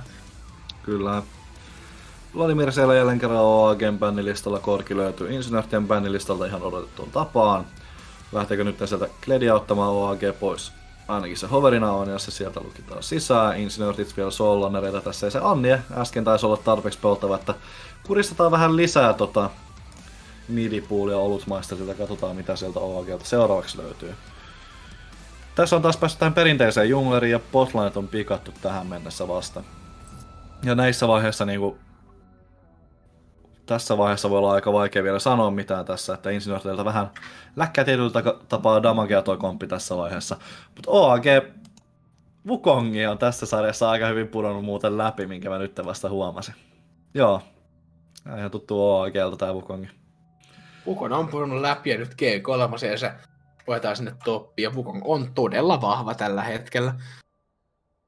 Voihan Opsi varmistaa, että se on ollut top Wukong, mitä ne on pelannut. Koska Joo, siellä tulee. Allissa on nimittäin yksi joukko, joka on pelannut Jungle Wukongia, mä en ole ihan varma, että oliko se oikein, mutta sieltä tuli Opsilta varmistus, että se on nimenomaan Tople Wukong. Morrikaiser siihen vastaukseksi, joka tekee vähän haasteellinen Lani Morrikaiser tietyllä tapaa, mutta teamfighteissa niin kun counteraa Wukongin ihan vaan siltä, että sä viet sen pois sieltä, sieltä fightista. Ja niin kun pystyt sillä tavalla niin kun nollaamaan Wukongin näissä peleissä. Viego on muuten myös jotain, mitä on päässyt tässä pelissä läpi ja se on insinöörteille midlane pikki tähän peliin.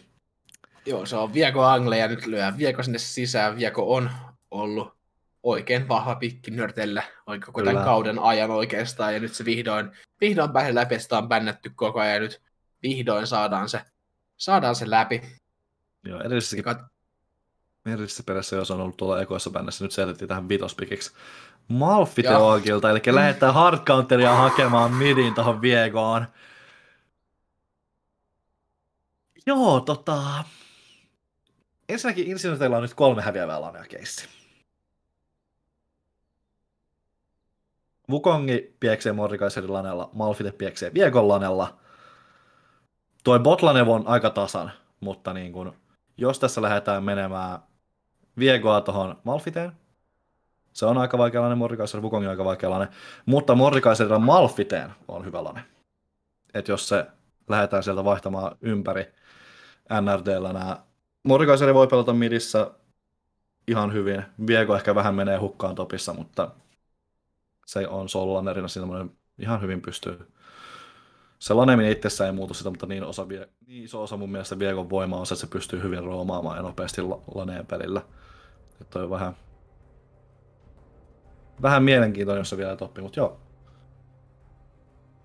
Joo, mutta en Tässä on neljä Sollaneria, neljä Sollaneria, jota voidaan rullata ympärissä, mitä huvittaa, mutta näin. Joo, vieläkään en ole itse saanut itteni koottu tuosta Game 2. Joo. tosiaan, että vielä on pieni shokki tässä päällä hiljalleen, mutta tosiaan nyt saatiin draftit tehtyä ja odotellaan, että se Rick rietetään tuolla oikeassa klientissä ja katsotaan tätä matchappeja näin tälleen klassisesti läpi ja topleen matchappi nyt tulee sitten no. saa nähdä mikä se nyt on. Mutta sanotaan, että se on se Mordekaisen Wukong, jos sanotaan, että se on jos suoraan se. Jos se on se Mordekaisen Wukong, niin Wukongin läppää Morde aika kovaa lanella. Um, mutta siinä on se, että sä viet vaan Mordekaisen Wukongin pois teamfighteista. Um, mutta jos on esimerkiksi Viego Wukong, niin sen pitäisi olla aika tasainen matchup. Mä en ole ihan hirveästi nähnyt. Eräs Nyx voisi kertoa, että tämä matchup on pelannut Viegoa paljon enemmän, mutta mä uskon, että Viego on ihan hyvä Wukongiin. Jos sitten taas toinen näistä on Malfitea vastaan, niin Mordekaiserhan voittaa Malfitea aika lailla menneen tullen.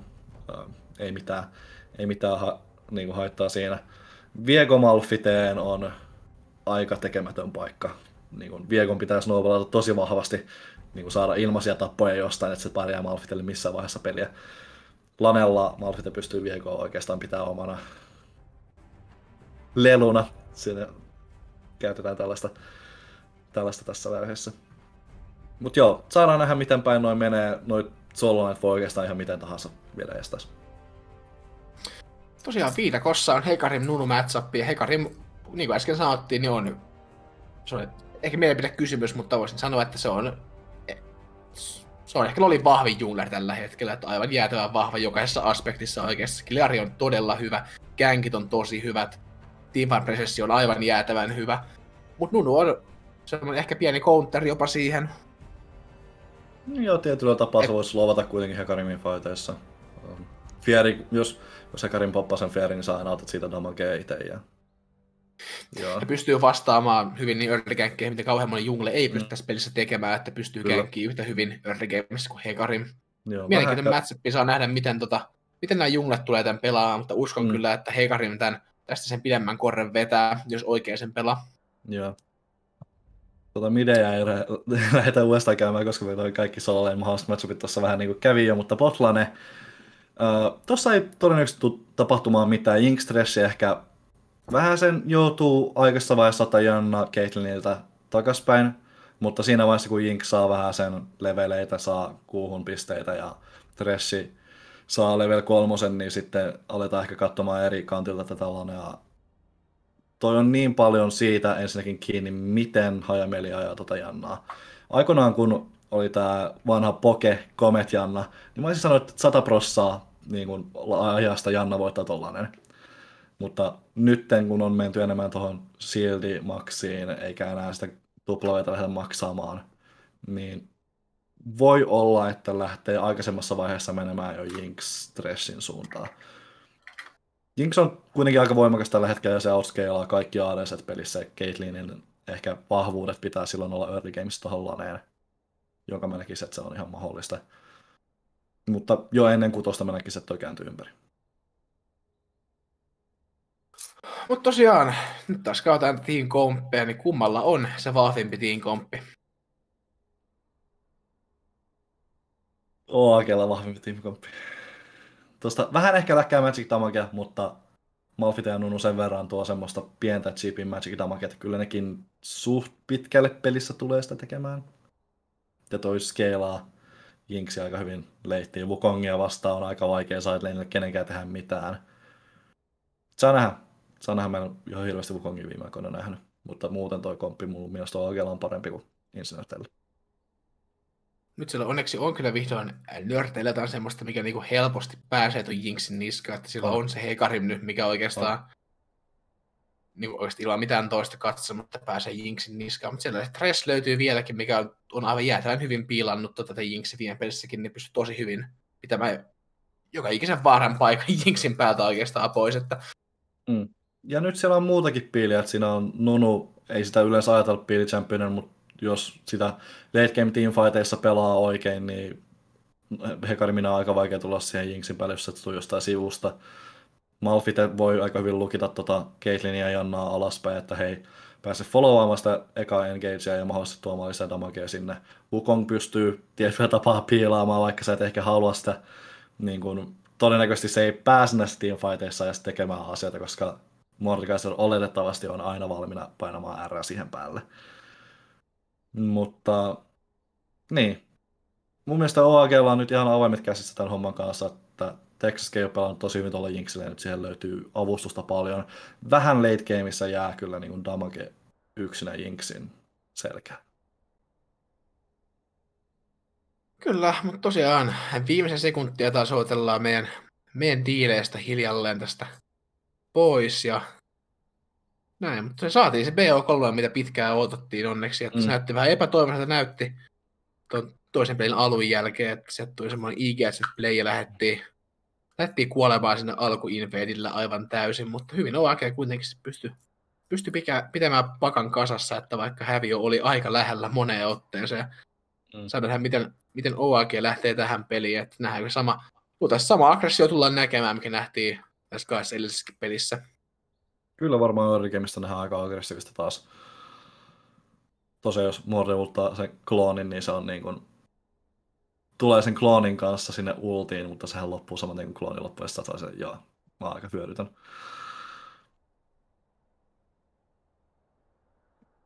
Joo. Tässä loading screeniin skinitaistelu menee aika lailla tasan, siellä taisi olla molemmilla joukkoilla neljät skinit. Tärkeä pointti taisi Best of kolmosen viimeiseen matsiin lähtiessä.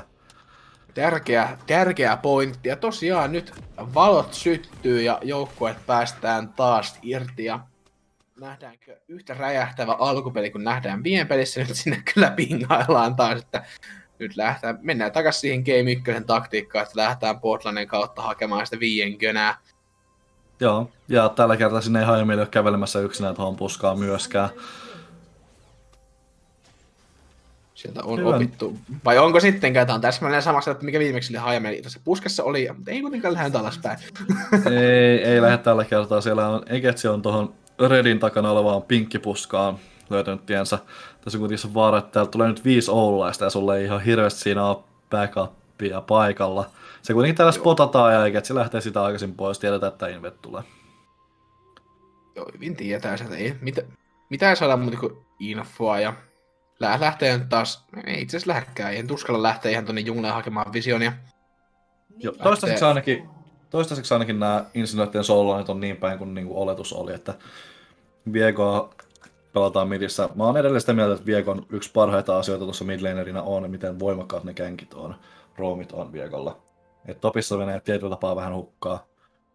Mordekaiser on tuolla topissa, niin tykkää jopa siitä pitkästä lanesta vähän enempi. Ja siellä asettu ihan oletetusti myös Malfite midiin ja Wukongin tonne toppiin. Joo, No, Mielenkiintoista, mitä tästä lanesta tulee. Nyt päästään Game 3 pariin. Äijät pääsee lanelle ja minioit spawnnailee, minioit kävelee ja päästään aloittamaan mähinää. Nähdään lähtääkö tästä early gankkia nunnu hakemaan tai Hekari, en usko, että lähdetään mitään, mitään kauhean aikaista riskiä. Topissa otetaan taas Rehti ja Nikon kaksi peliä putkeen otettu.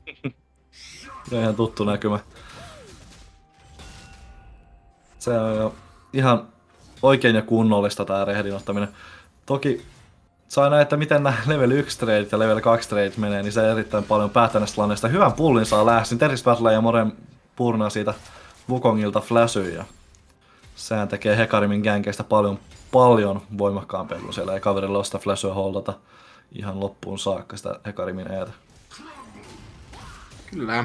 Nyt saman aikaan siellä midissä Klintti pikkasen mätkii olutta, mutta mitä, mitä isoa ei luultavasti tuossa tule itsestään näkymään topissa. Tietysti Battle ottaa vähän, ottaa vähän namaa, että saa vihdoin level 2, niin pystyy vihdoin, pystyy vähän itsekin puolustautumaan. Se mitä ihmeistä ei tosiaan tässä alussa nähdä, mikä oli ihan odotettuakin tällaisella kompelta, että ei lähteä mitään lähteä Helmeriä heittämään tämän Levien mytin kohdalla, tai anteeksi kuule mytin kohdalla. Mm. Nyt, ja nyt, aika nyt kuitenkin saa... siellä midissä on Dick muuten pois nyt on Clint Evans pahassa paikassa, ei ihan kuitenkaan pysty pendaa kuin elintarveri. ja, Musta tuntuu, että pendas just niin kuin elintarveri. no joo, yövuoro Flameit tähänkin striimiin saatu sisään. Uh, joo, hyvin on tää Clint Westwood saanut tätä puskettua sisään, että siinä vähän sen... On jo mielenkiintoista runevalintaa tuossa Malfiten puolella. Itse tota, olisin halunnut nähdä jälleen kerran Arkein komettia ja sieltä saa manasusteinenkin helpommin. Toki siellä nyt on, on semmoinen flowbandi otettu kuitenkin, että siellä on sinistä puuta toisena. Mutta muutenkin tarjo, muutenkin tarjo todella hyvin niin tota, paremmin tota sininen puu ykköspuuna, niin siellä työkaluja Malfitelle. Toki siellä on paljon melee championeja vastassa, varmaan E- tai W-maskia, maksia halutaan lähteä ottamaan. Ja W, siellä on toinen piste level 4 otettukin, eli halutaan päästä mätkimään sitä viekoa naamaa ihan lähietäisyydeltäkin. Onko siinä sulle samalla Boost Speed tuplaskuutleet on Tick Booty Boy, Tick Booty Boy joutaa pakottamaan pois, mutta kuitenkin on topissa siinä lähin kimmassa lähellä, että läsyä ei löydy, ländää nokapin siihen, nyt näyttää kyllä pahalta, läht tulee tästä kaatumaan ja Nunu ottaa sieltä First Bloodin läästä, mikä on aika ilmanen, kun siellä läällä ei flashyä enää löydy. Jep. Se oli ihan, ihan oikein ja kunnollista tuo känkki, että se oli hyvin pelattu Tick Booty Ja niin kuin just sanoin, niin no, nämä känkkipähtit on vähän erilaisia kuin monella muulla junglerilla, että voi tulla tuolta lanaakin ja pitkiä. Ja nyt tulee Hasissin TP läähiltä, se ei ihan ländä Hyvä, ei. kuitenkaan Tickbootyboilta. Lähdet olla hyvä E siihen ja Tickbootyboy ei nokappia ihan tosta saa ja lähtee sitä jotenkin tällainen ihmeen voimalla selviää, että aika aggressiivinen TP. Viako nyt on siellä topissa haistamassa, että jos sieltä pikkasen jotain liian aggressiivista peliä heitetään, mutta ei kuitenkaan steppaa Tickbootyboy liian pitkälle. Mm. No nuo hakenut jotain early känkkejä, niin kuin chatissa huomataan, niin siellä Hekarimilla on semmonen kevyt viiden kämpin liidi jo tässä vaiheessa tullut. Ja tää on ihan perinteistä Hekarimin mielenkiintoista toi äsken Viekon tupla. Olikohan sinne minionin välissä ainakin katos aika hyvin niin toi tupla V stunni tosta. Mut joo, potti puolelle nyt kun molemmat junglerit on löytänyt tiensä, nyt lähtee Hekarim hakemaan känkkiä josta Ghost on popattu. Ja Ghost jo. Ja, ja Ghost on popattu on hyvä. Niin Karpanis, kun TP nyt kuitenkin tulee Olutmaisterilta mukaan. Sieltä löytyy Olutmaisterilta ulti, mutta siellä on Caitlyn Trapit sen verran isona, että ei, ei pääse tuohon ulttaamaan sisään. Ja sinne on voi olla myös Snowballin kanssa mukana hmm. menossa. Kyllä. Hyvä TP Olutmaisterilta lopettaa ton tilanteen täysin. Kyllä, se on ihan, ihan oikein käyttää tuossa vaiheessa. Mieluummin ottaa sen turvallisesti ja burnaa sen Solana. TP nyt muuten topissa mennään Brasiliaan. Jo Brasiliaan mennään nyt lää koittaa ottaa ja ottaa tästä luultavasti solokillin parissa, vaan ottaa, ottaa kuitenkin sitä. Samaan aikaan botissa uudestaan puuttu speed Oldmaster ja bassi paikassa hiilillä tekstikieltä ulos. Se ei kuitenkaan riitä tästä Malfita. Ei, ei pääse pakoon, Clintti on menossa mukana ja ottaa Texas Keijon alas ja ikävästi ei ihan pääse lampulla pakoon, että Caitlyn Trappi on hyvässä paikassa ja siitä ottaa Insinöörit kaksi tappoa ja saa itselleen ensimmäisen Dragonin, mikä tulee olemaan Ocean Drake. Joo, Uduria tässä pelissä ei ole, mutta se seuraava superfarmaava jungleri sen sitten ottaa itsellensä. Ja Heka Rimille tästä ensimmäinen, ensimmäinen Dragon ja se on Ocean Man. Take me by the hand, take me to the land. Ja siellä seuraavaksi tulee tota Cloudboyta sitten tarjolle.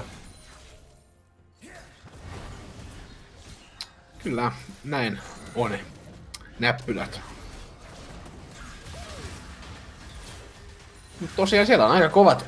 Samaan aikaan Tomis on lähin kimpussa siellä, mutta ei ihan tappoa saada. Mutta saatiin CS Differencestä puhuttiin, niin siellä on 20 farmin johto junglessa, midissä on kanssa se 20 farmin johto tuo Malfiteen, ja botissakin on jo se noin 10 farmin johto, mutta samaan aikaan Butch Speed on tietysti parten kimpussa topissa, hyppää siihen niskaan ja pääseekö sieltä flashy löytyy sieltä, mutta tuplavella pääsee kuitenkin ihan näytösti pakoon. Sama Tickbooty voi meinaa liittyä mukaan, mutta ei, ei kuitenkaan yksin pysty snowballaamaan tonne sisään. Kyllä. Heavy Solan, by the way, sanoo Clint EU Westwood ja on siellä se 20 farmia ottanut liidiä. Nun Quiveri löytyy jo tuolta backpackista. Mä sanoin, että nyt ihan oikeasti iso osa tuosta niin Malfiten lane niin dominanssista moneen AD on siinä, että sä uskallat ottaa sen kometin ja me vetää vähän lainausmerkeissä squishimpää buildia. Toi Graspi, sen vaikka monta kertaa saakin ehkä tuossa lanella prokattua, niin se ei, se ei ole sillä tavalla benefittiä anna pitkässä, tai no antaa nimenomaan pitkässä juoksussa, mutta niin kun, sä et sitä lanea etua pysty puskemaan sillä samalla tavalla kuin mitä sillä kommentilla pystyisit. Että se vaan antaa viekolle semmoista liikaa presenssiä tuossa lanella, kun niin kun Malfiten pitää tulla meille rangelle ja joutuu ottamaan näitä tradeja, mitä tässä nähdään. Kohta tuosta kuitenkin pystyy hyvin sen hiilaamaan takas Conqueror kanssa, niin ottamaan. Nyt kuitenkin Nyt Nunu on tässä muinossa mukana ulttaa. Clintin päällä Clintin löytyy Näin. flash, mutta se ei ihan kuitenkaan riitä koettaa ultilla päästä pakoon, mutta ei riitä. Tästä tik, anteeksi, olut maisteri ottaa itselleen tapo. Joo, pitäisikö, mitäs seuraava, seuraavaksi, mitäs Lanea nyt lähettäis tästä jinksaamaan? Ja nyt on, nyt Utso Speed kuitenkin hyppää sinne Ghostin kanssa midin aika aggressiivisesti kyllä koettaa tästä jotain saada. Dick Boy ja Olutmaistersin niskaa aivan yksin. Ja Ghost nyt Putsbiltä joutuu tästä purnaamaan. Myös tuota Botlanen jinksaamista, siellä Caitlyn farmaa tosi hyvin. no niin, mut joo.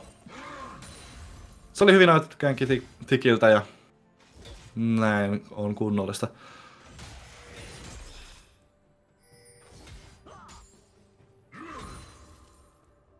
Siellä vähän Botlanelle kattelee tässä parhaillaan Boost of Speed. Ulti sieltä löytyy, Viekokin on tulossa sinne päin, Visoni tuossa kuitenkin on riverissä, niin eivät pääse ihan ilmaiseksi kävelemään tuonne.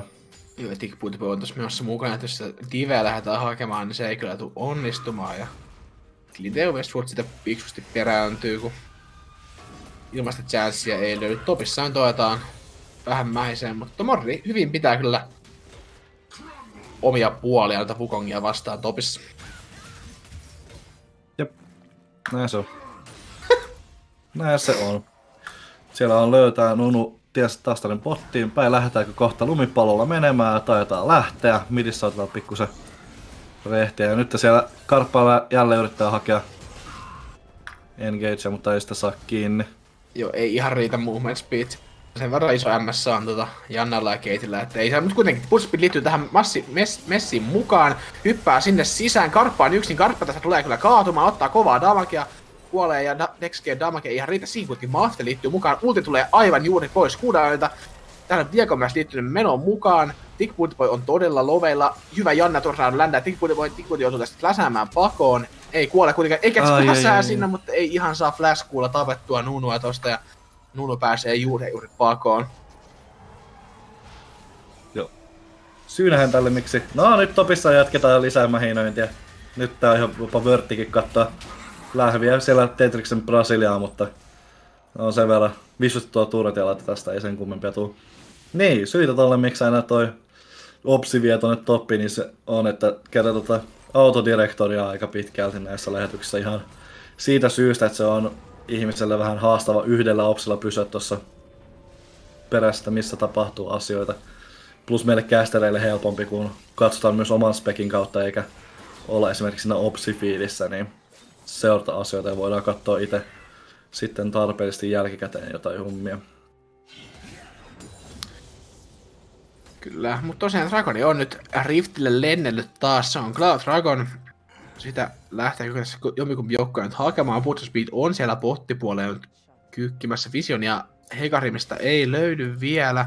Nyt kuitenkin spottaa tuolle Vardille ja näyttää siltä, että Insert Dragonia ei auta kuitenkaan mennä siihen puskaavat siellä puskassa on kuitenkin Vardi, ja ei onnistu toi, ei, ei onnistu tää kuusipuska nyt ihan täysin, että sieltä pojat ei tajua sweeperiä käyttää.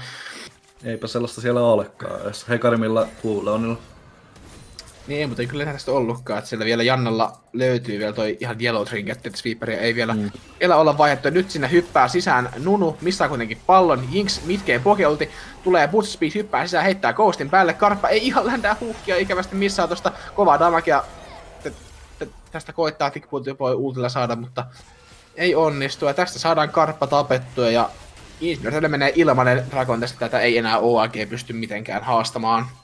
Jep, Dragonin numero kaksi menee tässä. Oh, ja Jinx ulti kuitenkin lentää, mutta no, ei. siinä on, Janna on tarpeeksi tick ton blokatakseen, niin ei päässyt Dragonille saakka. Infernal Soul muuten tähän peliin. Kaksi peliä ollaan Mountain Soulia katsottu, ja nyt kun siellä on championia, jotka sitä hyödyntäisi, niin päästään katsomaan sitä Infernal Soulia.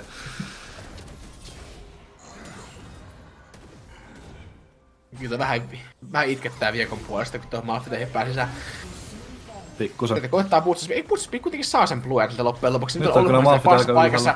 Mutta TP tulee Vovointi tähän kuitenkin mukaan. Niitä on paskassa paikassa. Tornado lentää kuitenkin sieltä ja nokappaa aivan suoraan Tetriksen, kun koittaa TPllä liittyä tähän mukaan. Ja sinne nyt, nyt hyvin karppa koittaa Flay-peliä tuosta hakea huukkaamalla minionin kautta, mutta ei, noit rapit kyllä siltä kyllä nyt hyvin on tuota stressia vastaan, mutta karppa vielä on sinne jahdissa mukana, ja Eketskin ja nyt, nyt näyttää pahalta, eikä sitä flashua ei löydy, Ekets koittaa Keijoa ottaa mukaan, mutta ei kuitenkaan saa saattaa nyt ikävästi menee kyllä Tressille tosta, mutta saadaan kuitenkin Ekets joka tapauksessa tapettua. tuttu näkyy täällä sitten keräävät Tressit. Mut joo, siellä nyt saadaan todennäköisesti aika paljon damagea tuohon bottiturretti, siellä ei, no eipäs lähetä sitä ottamaan siellä. Ei ole tarve täysin tota, ole tietoa, että missä kaverit on, niin jätetään nyt tällä kertaa ottamasta se, ottamasta se turret. Kyllä, ja hiljalleen tässä ei ihan, ihan kova semmoinen about tonnin lead on Insinöörit itselleen saanut tässä kerättyä tämän aikana. Se oikeastaan farmeista ja muutamasta taposta nyt koostuu se Gold Lead. Tuolla Hekalla on jo se aika iso farm lead, kun tuohon Nunun kyllä katsoo, että tuo ikävältä näyttää. Ja hyvin on Malfite saanut oman häviönsä tasoitettua tuossa farmin suhteen, että enää joku sen neljä farmia tappiolla yhdessä vaiheessa oli sen 30. Joo, siellä on päässyt Malfite nyt vähän sen paremmin tuossa Lanella mukaan. Karppa nyt Ja nyt Karppa fläsää sinne Eketsin niskaan ja TP tulee vielä Malfilta tähän mukaan. Ai, ai, ai, ai, ai. Lähtääkö diveemään? Lähtäähän me. Hypätään Eketsin kimppuun. Ekets tästä nyt kaatuu. Malfit ottaa yhden ja ottaa tästä Hajameekin tulee vielä kaatumaan. Clint Eovest liittyy mukaan, vai kaatuuko Hajame sittenkin kaatuu ultilla. Ja Clint Eovest, mutta ei aivan saa täsmälleen tuota flashyä tuohon sisään, mutta pääsee kuitenkin ultilla ottamaan tekstiken alas. Nyt näyttää kyllä pahalta. Ottaako tästä? Ottaa vielä Karpan mukaan. Mutta sillä aika ollut maisteri onneksi pääsee OLGn kannalta pääsee kävelemään tästä pakoja. Clint ja Westwood käy cleanappaamassa Bootista kaksi tappaa. Nyt on lää aika pahassa paikassa.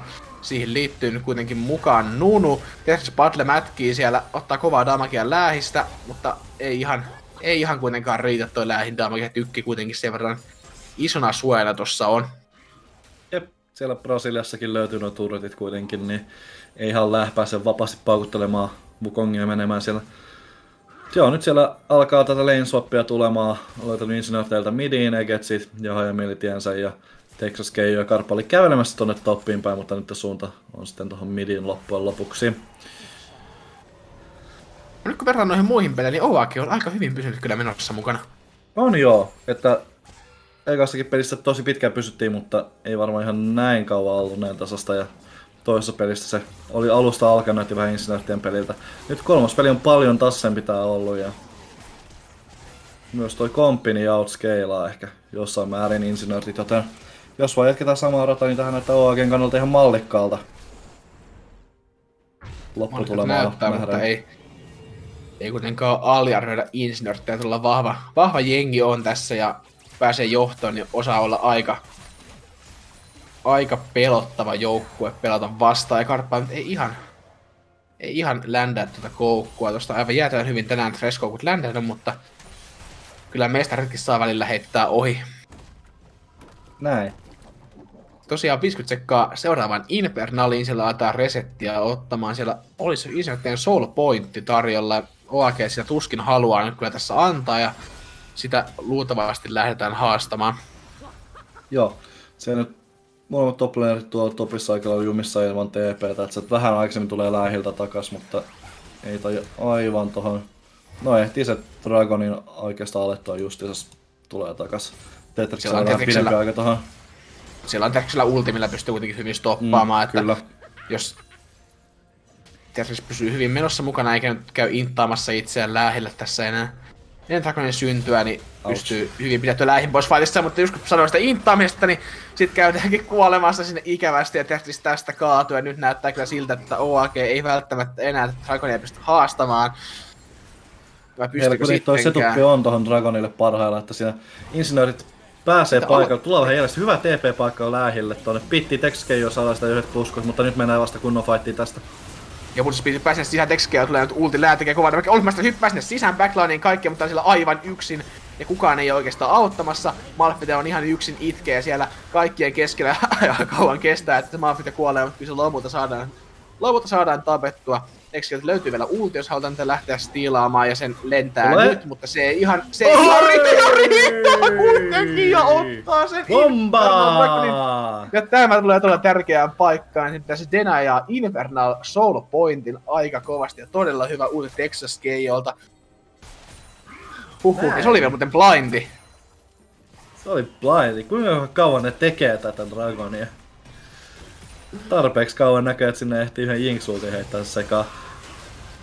Ja nyt Tesla Battle on taas siellä hyppää niskaan, mutta lää on jo kolme leveliä Wukongia heillä ja nyt Wukon ottaa kyllä kovaa ottaa kovaa damagea, mutta ei ihan kaadu. Karpa heittää hyvän huukin siinä. Lää on tosi paikassa paikassa ja lää joutui fläsäämään pakoon.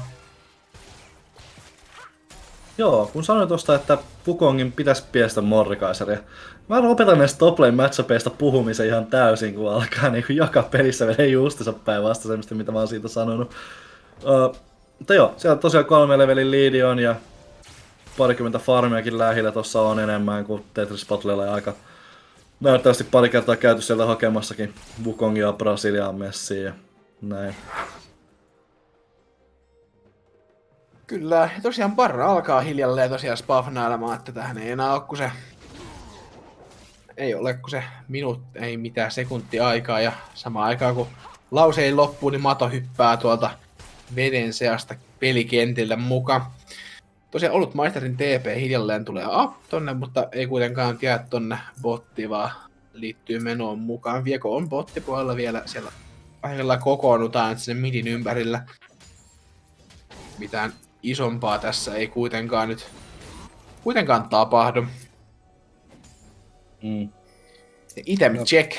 On Siellä vähän... alkaa ole ylhäällä Rift... kamppa kyllä nyt. No joo, sitä pääsee aika hyvin pois. Niin, itä meitä löytyy. Riftmaker on aika erikoinen valinta Mordilla. Ehkä tohon... No siellä on tulossa Nashori toisen, just että dual buildia siinä on buildamassa lää. Joo, nyt, nyt pingallaan toppiin. Nyt on tietysti tosi diipissä. Sieltä tulee backiin, tulee Putsaspeed hajamieli ja Eikäs tulee nyt kyllä kimppu. Ja nyt on Tetris Battle pahassa paikassa. Flashy löytyy vielä. Että poppaa nyt Putsaspeedi. Ka- oh, ei ihan uutella kuitenkaan saa Tetris Battle flashaa sitä pakoja. Ei koeta kun teemme, ei, älä tee näin, älä lähetä tällaista. Ja nyt kuitenkin tulee tästä kaatumaan tuolla Hegarimilla. Mm. Ja tulee hyvä Caitlyn ulti tuohon avuksi. Samaan aikaan nyt mähistää siellä, lää kuolee kuitenkin siellä. Ei, va, ei, ei kuole, ei, ei kuole. Siellä Clint EU Westwood tulee ja klutsaamaan tuon tilanteen aivan täysin. Ja ei, ei kaadu, ei kaadu. Texaskin jo kuolee. Mutta kuoleeko Clint? Clint exausti, pur, anteeksi, ihminen purna ottaa kovaa damagea, saa oh. karpaa mukaan, ei saa karpaa mukaan. Ja sitten kuolee, mutta Baron kaatuu samaan aikaan siellä. Olut maisterilta ei löydy enää ultia, että pääsisi tuohon rankasemaan mitään. Karppaa on aika loveilla. Lähteekö nyt se Malfit sinne jotain kekkailemaan. Monsun löytyy aika full hopeta nyt on. Visioni ländää sinne alas. Ehtiikö? Ei tohon kyllä enää Nunu ei millään. Saa karppa heitä jotain jumal huukkistiiliä. Ei tuu. ei, ei. Joo, Jiksulti ei tuu ihan ajoissa ländää lähiä speediin, mutta ei oo uhka. Ja siitä Insect ottaa, ottaa kolme, anteeksi, ei kun joo, kolme tappoa mukaan ja Baronin. Et saman aikaan kun siellä jahdattiin, jahdattiin Tetris Battlea, niin siellä mähistiin sitä aivan täysin siellä yläpuolella ja saatiin ehkä koko OAG-tiimi tapettua. Joo, melkeinpä, että siinä Läh kävi viemässä Thick Booty Boyn mukanaan Brasilian lomareissulle ja no siltä reissulta ei palannut kuin toinen henkilö enää takaisin. Ja siitä aika lailla sitten pitkitetyn battlen jälkeen niin sai vietyä insinöörit tuon Baroninkin ja Onko tämä nyt näitä hetkiä, milloin ei pitäisi sanoa tiettyjä asioita? Voiko tästä Aika... enää tulla? Tästä ei kyllä enää voi tulla takaisin. Okei, okay, okay, kultaero on vaan kuusi tonnia tällä kertaa. Siellä on kohta spawnaa Infernatorikin. Mä väitän, että oikein pelattuna edelleen OAGn kompi on parempi tässä teamfightissa. Viego on todella helppo lukita alas ja Mordekaiser nyt, nyt niinku tarvii hyvän nyt voi olla niinku se case, että halutaanko viedä se Jinksi vai Malfite sinne niinku sen niinku enkaken takia. että Jinxillä kuitenkin on vasta yksi itemi, sulla on Caitlyn, joka on kaksi puoli itemiä jo. Ja nyt sieltä löytyy onneksi ne Grievous Woundsit sentään, että sieltä varmaan löytyy ollut maisterilta, että ei olla, ei olla ihan ilman Grievous Woundsia, mm. kun peli oltiin melkein kokonaan ilman Grievous Woundsia, mitkään pokeuti lentää eikä siltä sinne karppaan. Ja Dragonis Pafnalle nyt, ja, mutta tähän ei kuitenkaan, ei tähän OAG lähde kyllä nyt haastamaan, että ei koe sitä tarpeeksi. Jinx ulti varmaan nähdään kohta, mutta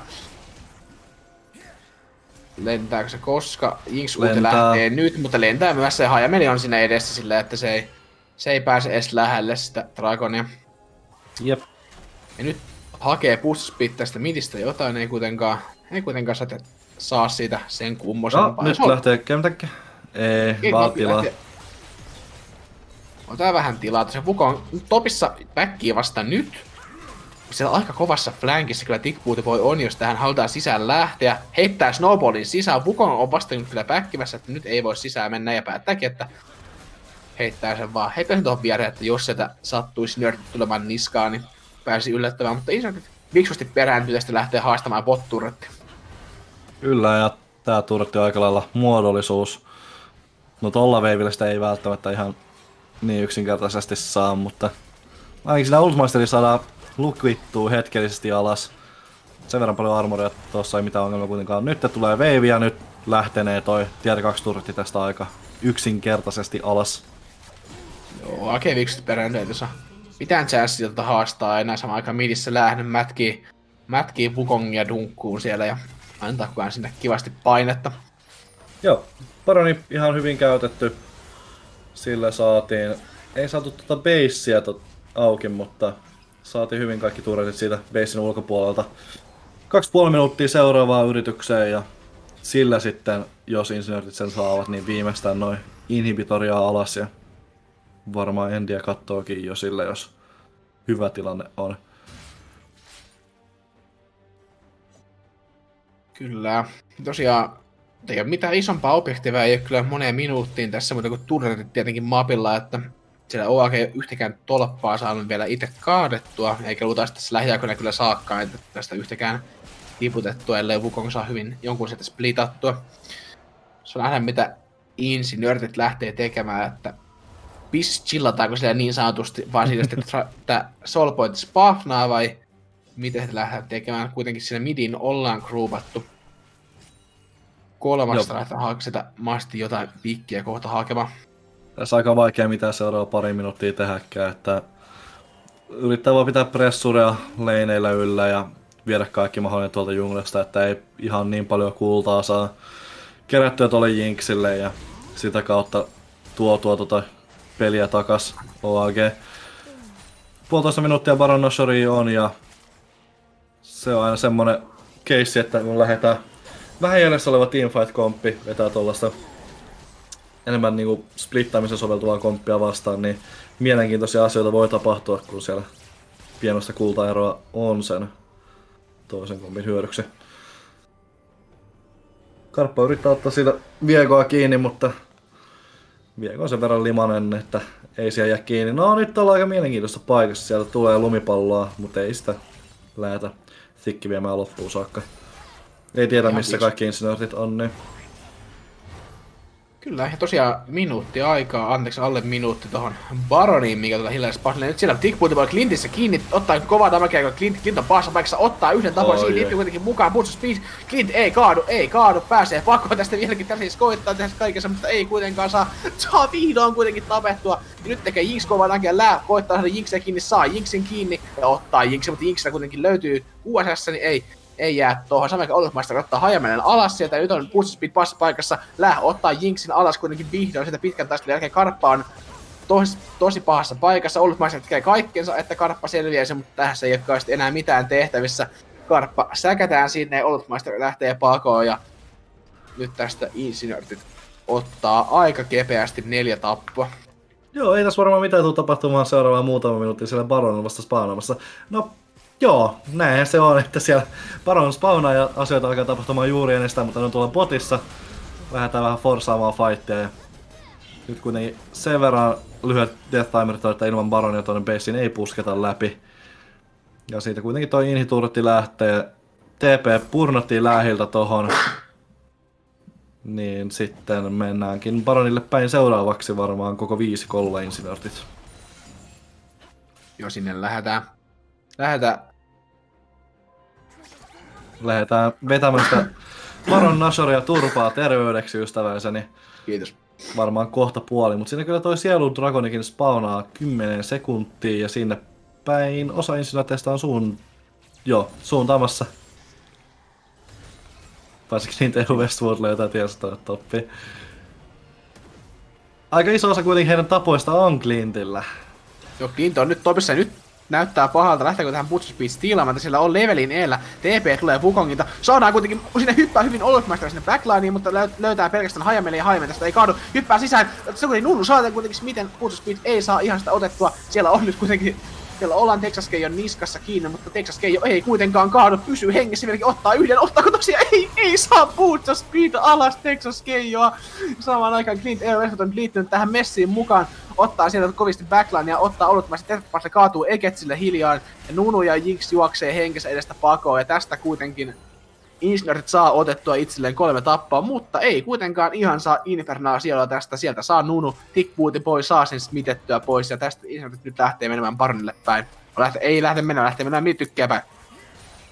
Joo, tota tykkää aika vaikea kuitenkin puskea alas Jinxillä, kun niitä roketteja löytyy ja nyt saatiin myös se runaus sieltä ylös. Jos Texkejo ei jää kiinni, niin tää turretti ei pitäisi kaatua. Jos siellä kuitenkin Clint tulee aika ylös ja forstaa se turretti vaikka väkisiä alas, hyppää sisään nyt vielä.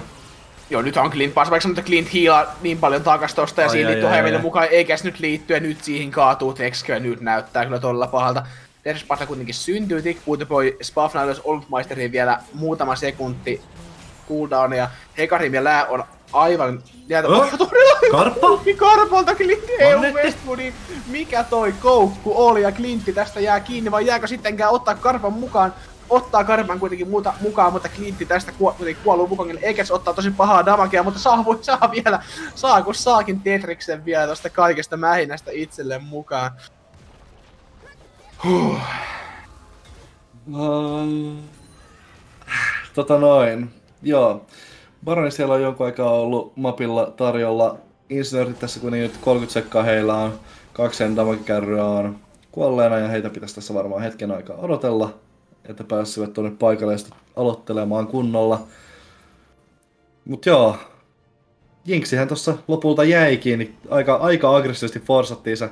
Sieltä heitetään toi ulti ihan varmuuden välttämiseksi. Aika kovasti forsas EU Westwoodi tuohon turtialle ja se on vaikea sanoa, että mitä tässä fightissa oikeasti jo pitäisi tapahtua nyt.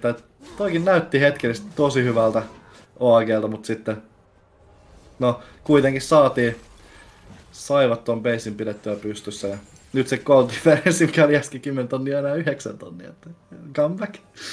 Kyllä se hiljalleen sieltä sana. Lää on nyt ot, koittaa saada pikkeis pittiin, mutta kukaan nyt ei, ei onneksi kävele siihen viereen ulkomaista puskea pottia, TP löytyy taskusta koko ajan.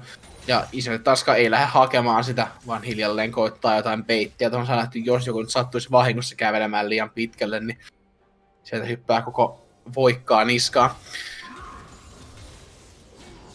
Joo, hullu voikkaalainen heittää niitä raketteja fightissa kyllä aika kova, jos sillä insinöörtit, insinöörtit overextendaa. kun siellä kaksi inhiä on alhaalla. Ultimasteri ainut Teepelin henkilö. Hän on botissa nyt siellä aloittaa Egetsi ton Baronin läpsyttelyn. No, Tää ei ole ihan läpsyttelyä vaan. Mulla löytyy kuitenkin flashy tähän vielä, että jos Visionia saadaan, Visionia saadaan flashaa sinne sisään, jos saa Eikä! Et oo tosissas. Sieltä saa stiilattua, mutta nyt Boostus on jäädessä heittää Ghostin Deathbat juoksee henkensä edestä Clinton sinne paussa, mutta hyvä flashy sinne. Morre TPttää kuitenkin midlane minioneihin ja nyt, on, nyt, kyllä, nyt, tulee, nyt tulee kiire Olutmaisille, nyt olisi kyllä pakko tulla takaisin hiljalleen. Boostus hakee tästä jotain, mutta ei, ei kuitenkaan saa. Mutta nyt en tiedä riittääkö tämä Baron enää. Nunu on kuollut koko viisi Insertin tiimiä tiimiläistä on siellä nyt tykkeillä. Lää saadaan huukkiin kiinni, sinne hyppää Tertipaten sikaan. Lää ottaa ultiinsa mukaan. O- mutta Olotmaisteri lätki läähiä todella kovaa siellä. Olotmaisterilta löytyy vielä ultikin. Jinx on ja ultia ei tässä purnan nyt näyttää kyllä, nyt näyttää Lää tulee tästä kuolemaan. Lää saadaan alas, kun saadaankin nyt, nyt kuolee, kun tästä vielä boost speed sieltä Texas Keija paukuttelee, Inksa tulee kovaa, saa yhden rehetin, saako lisää? Ja, mutta Clint on kuitenkin se tosi pahassa paikassa, ja nyt oh. Clint ottaa Texas Keijon alas, Texas Keijo astuu liian diippiin, ja Clint rankaa tästä tolla paljon, ja nyt on Clinton päässyt kyllä irti. Clint on aika hyvässä paikassa tässä. Sillä on Tersis Battle kuitenkin tekee kovaa damage, nullitu tähän fightiin mukaan, mutta ei riitä damage, ei riitä damage. Stickpointti voi selviää juuri juuri Olotmeister pääsee tosiaan vihdoin full HPlla takaisin tähän fightiin. Ultia ei löydy, Ekets on full HP ja tekee damagea tykkiin. Nuu tulee Snowboilla mukaan, lähtee sisään, uudestaan sisään, hyppää, ei kuitenkaan ihan ländää Snowballia. Deathpiper Keijolla on vielä 15 sekuntia kuolleena. Pystyy endaamaan. Mutta ei pysty endaamaan ja OAG pystyy tämän defendaamaan ja tähän on, mutta enää 10, 10 sekuntia, niin sieltä alkaa spafnailemaan Infernal sielu, mutta Jinx ulti on ylhäällä. Jinx sulta on ylhäällä. Ja Tää on nähty ennenkin, nyt siinä jää Olutmaisteri kiinni. Trappiin, mutta ja hyppää kuitenkin keksi niskaa, mikä kovan on keksi, tiedätkö, hyppäämässä sinne, Egets, oh, Egets on kuollut, saadaan Egets, saa Clint ottaa kovan ja saa Clintin vielä tapettua, Clint ottaa, ja Clint kuolee vielä tästä, Olutmaisteri ottaa yhden hajaminen toisessa paikassa, ei tästä enää pakoa, Terry Patli hyppää sen niskaan, saadaan tapettua vielä yksi lisää, ja nyt tehdään siellä, nyt tehdään tästä Dragonia, ja ei saa vieläkään Easternit itselleen Infernal ja nyt on molemmilla joukkueilla Soul Point, ja siellä on kolme Infernal Dragonia, nyt OAG puolelle, OAG ottaa tästä kolme tappua ja Dragoni. Mitä ihmettä mä oikein katon? Iso Baron stiili Tikiltä tossa aikaisemmin, jonka jälkeen, siis tää Baron stiili tapahtui, Baron stiili tapahtui kolme minuuttia sitten. Siellä on 21 stackin mehäis by the way Malfitella. Mut joo. Kolme minuuttia sitten tapahtuneesta Baron stiilistä niin iso... Ei. Mitä ihmettä tässä oikein tapahtuu? Niin Joo, OAG ei kaadu kyllä hiljaisesti yöhön, että jos OAG tämän häviää, niin häviää kyllä taistele, että ei, ei ole kaatumassa hiljaisesti. Nyt se Code Leadi, mistä puhut, että oli 9000, niin paljon se nyt on? Neljä tonnia. Neljä tonnia. Neljä puoli tonnia. Jinx pääsee pikkuhiljaa skeelaamaan, sillä kolme itemiä on täynnä ja löytyy toi QSS jo, että okei, okay, joo, sillä on neljä itemiä, mutta Egetsin itemit aika epäreilu, epäreilu niin kuin verrata muihin pelaajiin, ottaen huomioon, että siellä löytyy yleensä se niin 10 CS minuutissa. Nyt, nyt Putspeed koittaa saada turpa tankilla jotain, mutta ei, ei pääse Jinxiin kiinni, ja tuo Malfite on todella iso osa näissä fighteissa, että se on niin tankki, tekee niin paljon damagea, ja ottaa se, se vaan imee kaiken, sitä vaan ei tapeta. Kyllä. Siellä katellaan vähän pikkiä punaisen toppijunglassa, mutta sieltä ei, ei saada muuta kuin toi inhibitori breikattua. Nyt aggressiivista pingiä tuonne pottiin inhille ja Insinärteiltä on ainakin nähty näitä inhibitor-playtä ja nimenomaan Clint ja Westwoodilla aggressiivista. Nyt jää Eketsi kiinni sitä Oldmaster hyppää niskaan ja nyt on kyllä kuolluttaa Caitlinia. Joo, todella hyvä kombo. Mafite ulti ja Jinx ulti käytetään sinne. Eketsi, Eketsi pikkasen steppaa kyllä liikaa. Että se on iso Caitlyn, mutta se ei noin iso Caitlyn ole, että pystyy ihan noin vapaasti seikkailemaan. Että aika kovaa disrespektiä kyllä tohon Malfiteen ja siitä hyvin rankasta. Uh. Only bangers, only bangers. Ja tämähän Alli ei lopu vielä tietenkään tähän matsiin. Maanantaina toinen semifinaaliottelu Eloturistit TRM tosiaan. Ja sitten ensi viikon loppuna finaalitapahtuma 25.5. alkaa kello 16 siellä banger of a match luvassa. Toinen näistä joukkueista sitten odottaa tuonne LTR-matsin voittajaa silloin. Mutta nyt, mutta nyt. Nyt on minuutti aikaa Baronin enää Baron hiljalleen. Kohta taas aikaa Riftille syntymään ja tästä molemmat tiimit alkaa nyt ottelee rehetteä ja lähtee sinne Baronille päin stäkkeilemään. Ja tuo Wukon, mikä oli aika heikkoin tullut pitkään, sekin alkaa olla aika iso äijä hiljalleen, että se on tuonne backlineen pääsee, sitäkään ihan tolleen vaan enää rajateta. Ei, löytyy kolme itemia ja... Ja löytyy Grievous Woundsit! Joo, Grievous Woundsia löytyy nyt useammalta targetilta. Itse asiassa kaikilla paitsi Karpalta sellaiset löytyy ja... Tässä tällä kertaa niin kuin... Mitä? Egetsi Porkki, okei. Tää on itse asiassa ihan mielenkiintoinen adaptaatio, ihan hyvä ehkä tuohon Malfiteen, mutta siellä kyllä aika paljon on armoria. Nykyään siis Porkki antaa Current enemmän HP Physical Damagea on hitissä, eikä ole enää True Damagea niin kuin vanhassa passivessa oli. Että ihan, että enää noihin niin kuin, health ehkä parempi nykyään. Mutta kun billataan näin paljon armoria, niin sitten on vähän kysymysmerkki. Siellä löytyy myös Sonias nyt Malfitelta, että ihan täysin AD-kompi tää ei ole enää. Tetris ottaa ihan mielenkiintoista nuuskaa tuolta flankkeen varten. Ja nyt tosiaan Baron on spawnannut 50 sekuntia Dragoniin vielä. Siellä yritit taas koittaa sitä kusipuskaa saada aikaiseksi, mutta visionia kuitenkin löytyy Dragonilla, että ei, ei ihan ei onnistu mikään. Et siis nyt, ja, nyt siellä Tickpooli voi PM pikkasen käyttämään Stopwatsin. Huh? Anteeksi, Sonjasin, ei kun Stopwatsin. Stopwatsin, nyt, nyt, nyt, on, nyt, nyt, nyt hyppää backlinein, hy, sinne hyppää Booster Speed, Texas on niskaan, mutta Texas on kuitenkin tästä tulee vaan selviämään, sinne hyppää myös Clint. Texas pysyy hengissä vieläkin ja kovaa damakia tekee Texas koko, koko ajan tässä. Siihen kaatuu tickpuuti voi. Booster Speed tulee tästä vielä kaatumaan. Eikä se ei koskettukaan vielä. Hyvä hukki Karpalta! Ei. Aivan, aivan jäätävän hyvä hukki, mutta Texas jo kuolee sinne kuitenkin vihdoin. Saadaan Texas jo tapettua ja nyt Insigniortet ottaa tästä, Egets ottaa triple killin tästä Ace ja tulee, tulee endaamaan tämän pelin. Paljon onnea Insigniortit ja sieltä tulee se finaalipaikka. Egetsi 95 prossaa tosta fightista koskemattomana. Ja sitten kun Karppa ländää sen hu- No niin, ja sieltä taas sitä no sieltä, nelosta. Sieltä tulee Alt F4 taas, kun juuri päästiin kehomaan, että ei ole yhtään Alt F4 tullut aikaisemmin, niin nyt se sitten nähtiin, mutta huhu. Egetsi pääsi vapaasti lätkemään tuossa vikassa fightissa.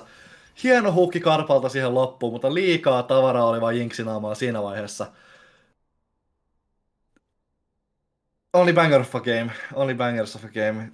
Täällä niinku Egetsi teki 42 tonnia samakeen tuossa pelissä. Joo. Joo, ei voi mitään sanoa, että aivan, aivan jäätävän hyvä BO3 kyllä molemmilta joukkoilta. Nyt pitää pikkasen happea kyllä ottaa. Tässä nämä viimeiset kaksi peliä on kyllä ollut aivan jäätävän hyvä. Että se eka peli oli tietenkin pikkasen hiljainen, kun Nörtit sen oikeastaan otti, otti oman haltuun tässä ei enää riitä sanatkaan, sanatkin jäänyt, jää kurkun pohjalle ja tässä vaan mietit, että mitä on tapahtunut vähän aikaa. Joo, tota, OAGlla oli, oli Anglia tulla takaisin tässä pelissä ja se näytti ajoittain todella hyvältäkin heille, kun he saivat holdattua peisi. Upea Baron Steel. Mä sanoisin, että jos siellä ei ollut niitä Baron minioneita, niin olisi varmasti voinut sitä insinöörit puskea läpi. Mutta ei vaan, ei riittänyt sen jälkeen. Toi viimeinenkin fightti näytti ajoittain ihan hyvältä. Jinx pääsi pitkään, ei jäänyt kiinni heti alusta, jäi, mutta siellä ei ollut mitään follow-upia sille Hekarin engageille. Eges pääsi vaan vapaasti mätkimään. Käytännössä full build Caitlinillä Ei mulla riitä sanoa tähän peliin. Mikä best of kolmonen? Ei riitä, mutta tosiaan haastat, haastattelija, ha, haastateltavat saadaan sisään saadaan voittojoukkoista. Butcher Speed ja Clint EU Westwood lämpimästi tervetuloa ja paljon onnittelua näiden tämän matsin jo, jää pitää vittua. Tämän, tämän, tämän matsin voitosta ja onnittelut finaalipaikasta. Kiitos, kiitos, kiitos, kiitos. kiitos. Minkälaiset on nyt päällimmäiset tunteet? No, No siis onhan tää ihan älyttömän jano. Nämä oli kyllä, se kyllä aikamoiset bangerit tähän, kun tuli lo- loppuun, että huhhuh. Oli kyllä. Joo. On kyllä pakko sanoa tähän, että en tiedä, onko elämässä nähnyt näin, näin kahta niin kuin hyvää allipeliä. Niin kuin, oikeastaan missään vaiheessa Allin kausista, kun nämä kaksi peliä, mitä Oo. nyt nähtiin. Hyvästä Kyllä. en tiedä, mutta jännitystä ainakin oli. jännitystä nimenomaan. Ehkä pelaajat haluaisivat, että se olisi paljon kliinisempää. Sitten ensimmäinen peli oli todella, näytti todella hyvältä ja niin kuin te oikeasti otitte sen oma haltuun. Mutta sitten Game 2, mitä siinä oikein Game 2 pääsi käymään? Tai kyllähän me tietää, mutta mä haluan kuulla se teille se vastaus.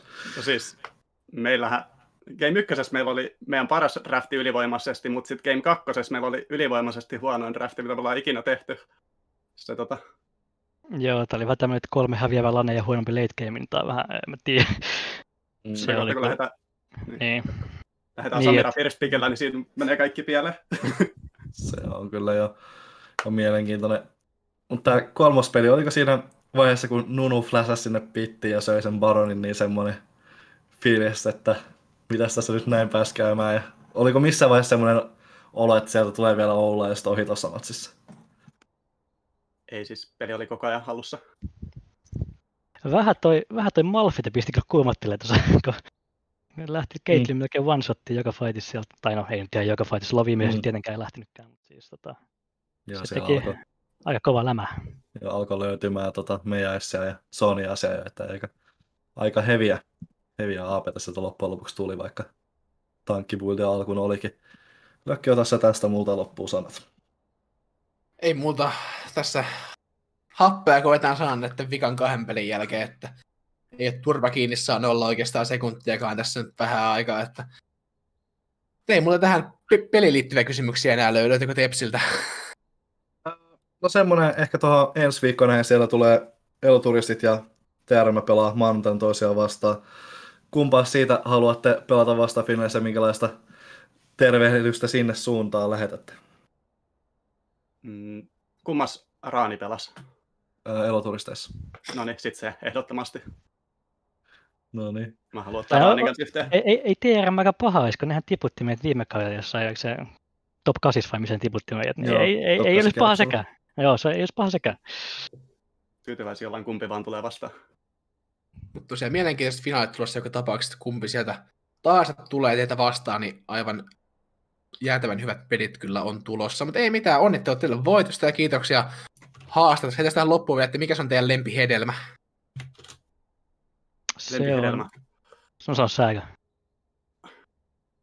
Anna mun 10 sekuntia, niin mä mietin. No mä sanon eikä tähän väliin, kyllä se on omena ihan reilusti. Okei, okay, klassikko, klassikko. Öö, mennään verigreippi. Uu, Okei. okay. eksoottinen, eksoottinen päätös. Joo, se on, se on paras ylivoimaisesti. Ei mitään, kiitoksia Putsa Speed ja Clint EO Westwood ja teidät nähdään sitten finaalissa. Jees, kiitoksia. Yes. Kiitos Kiitos ja onnittelut. teille. Morjes. Yes. Sitten Joo. saadaanko me vielä OAGn puolelta tänne haastatteluun poikia paikalle. Katsotaan, ketä sieltä mahdollisesti tänne Mm. meidän studioomme saapuu tänään. Oli kyllä aika, aika hyvä, että siellä on Texke ja Thikki molemmat löytyy tuolta. Ja sieltä, sieltä pojat räjähtää mestoille.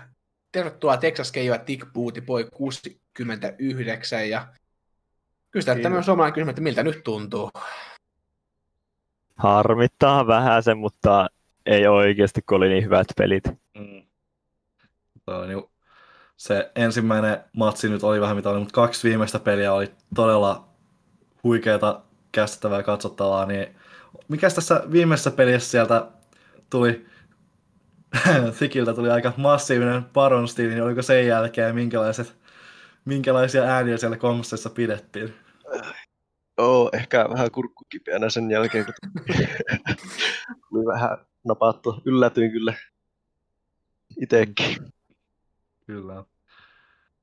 Joo, harmillisen lähelle tuossa päästä siinä vikassa fightissa, niin melkein pääsi Jinx rullaamaan, vaikka siellä ei ihan ei löytynyt siihen eka engageen mitään follow niin melkein pääsi vielä irti. Oliko minkälaista komsit oli siinä viimeisessä fightissa?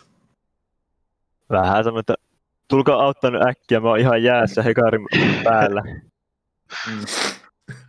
Ne lännäs kyllä niin hyvä heka ulti, että on Mm. sinne Jinksin kiinni fiilaamaan. Joo, hyvin oli, siinä saatiin Jinx erotettua, vaikka ei siinä suoraan mitään follow oli. Mutta yksi ei ole karppa tässä paikalla, mutta pakko kysyä, että miksen huukki on point and click ability?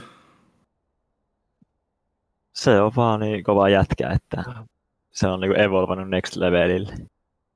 Jamaikan sniper osuja aina os. Et Mm. No kyllä.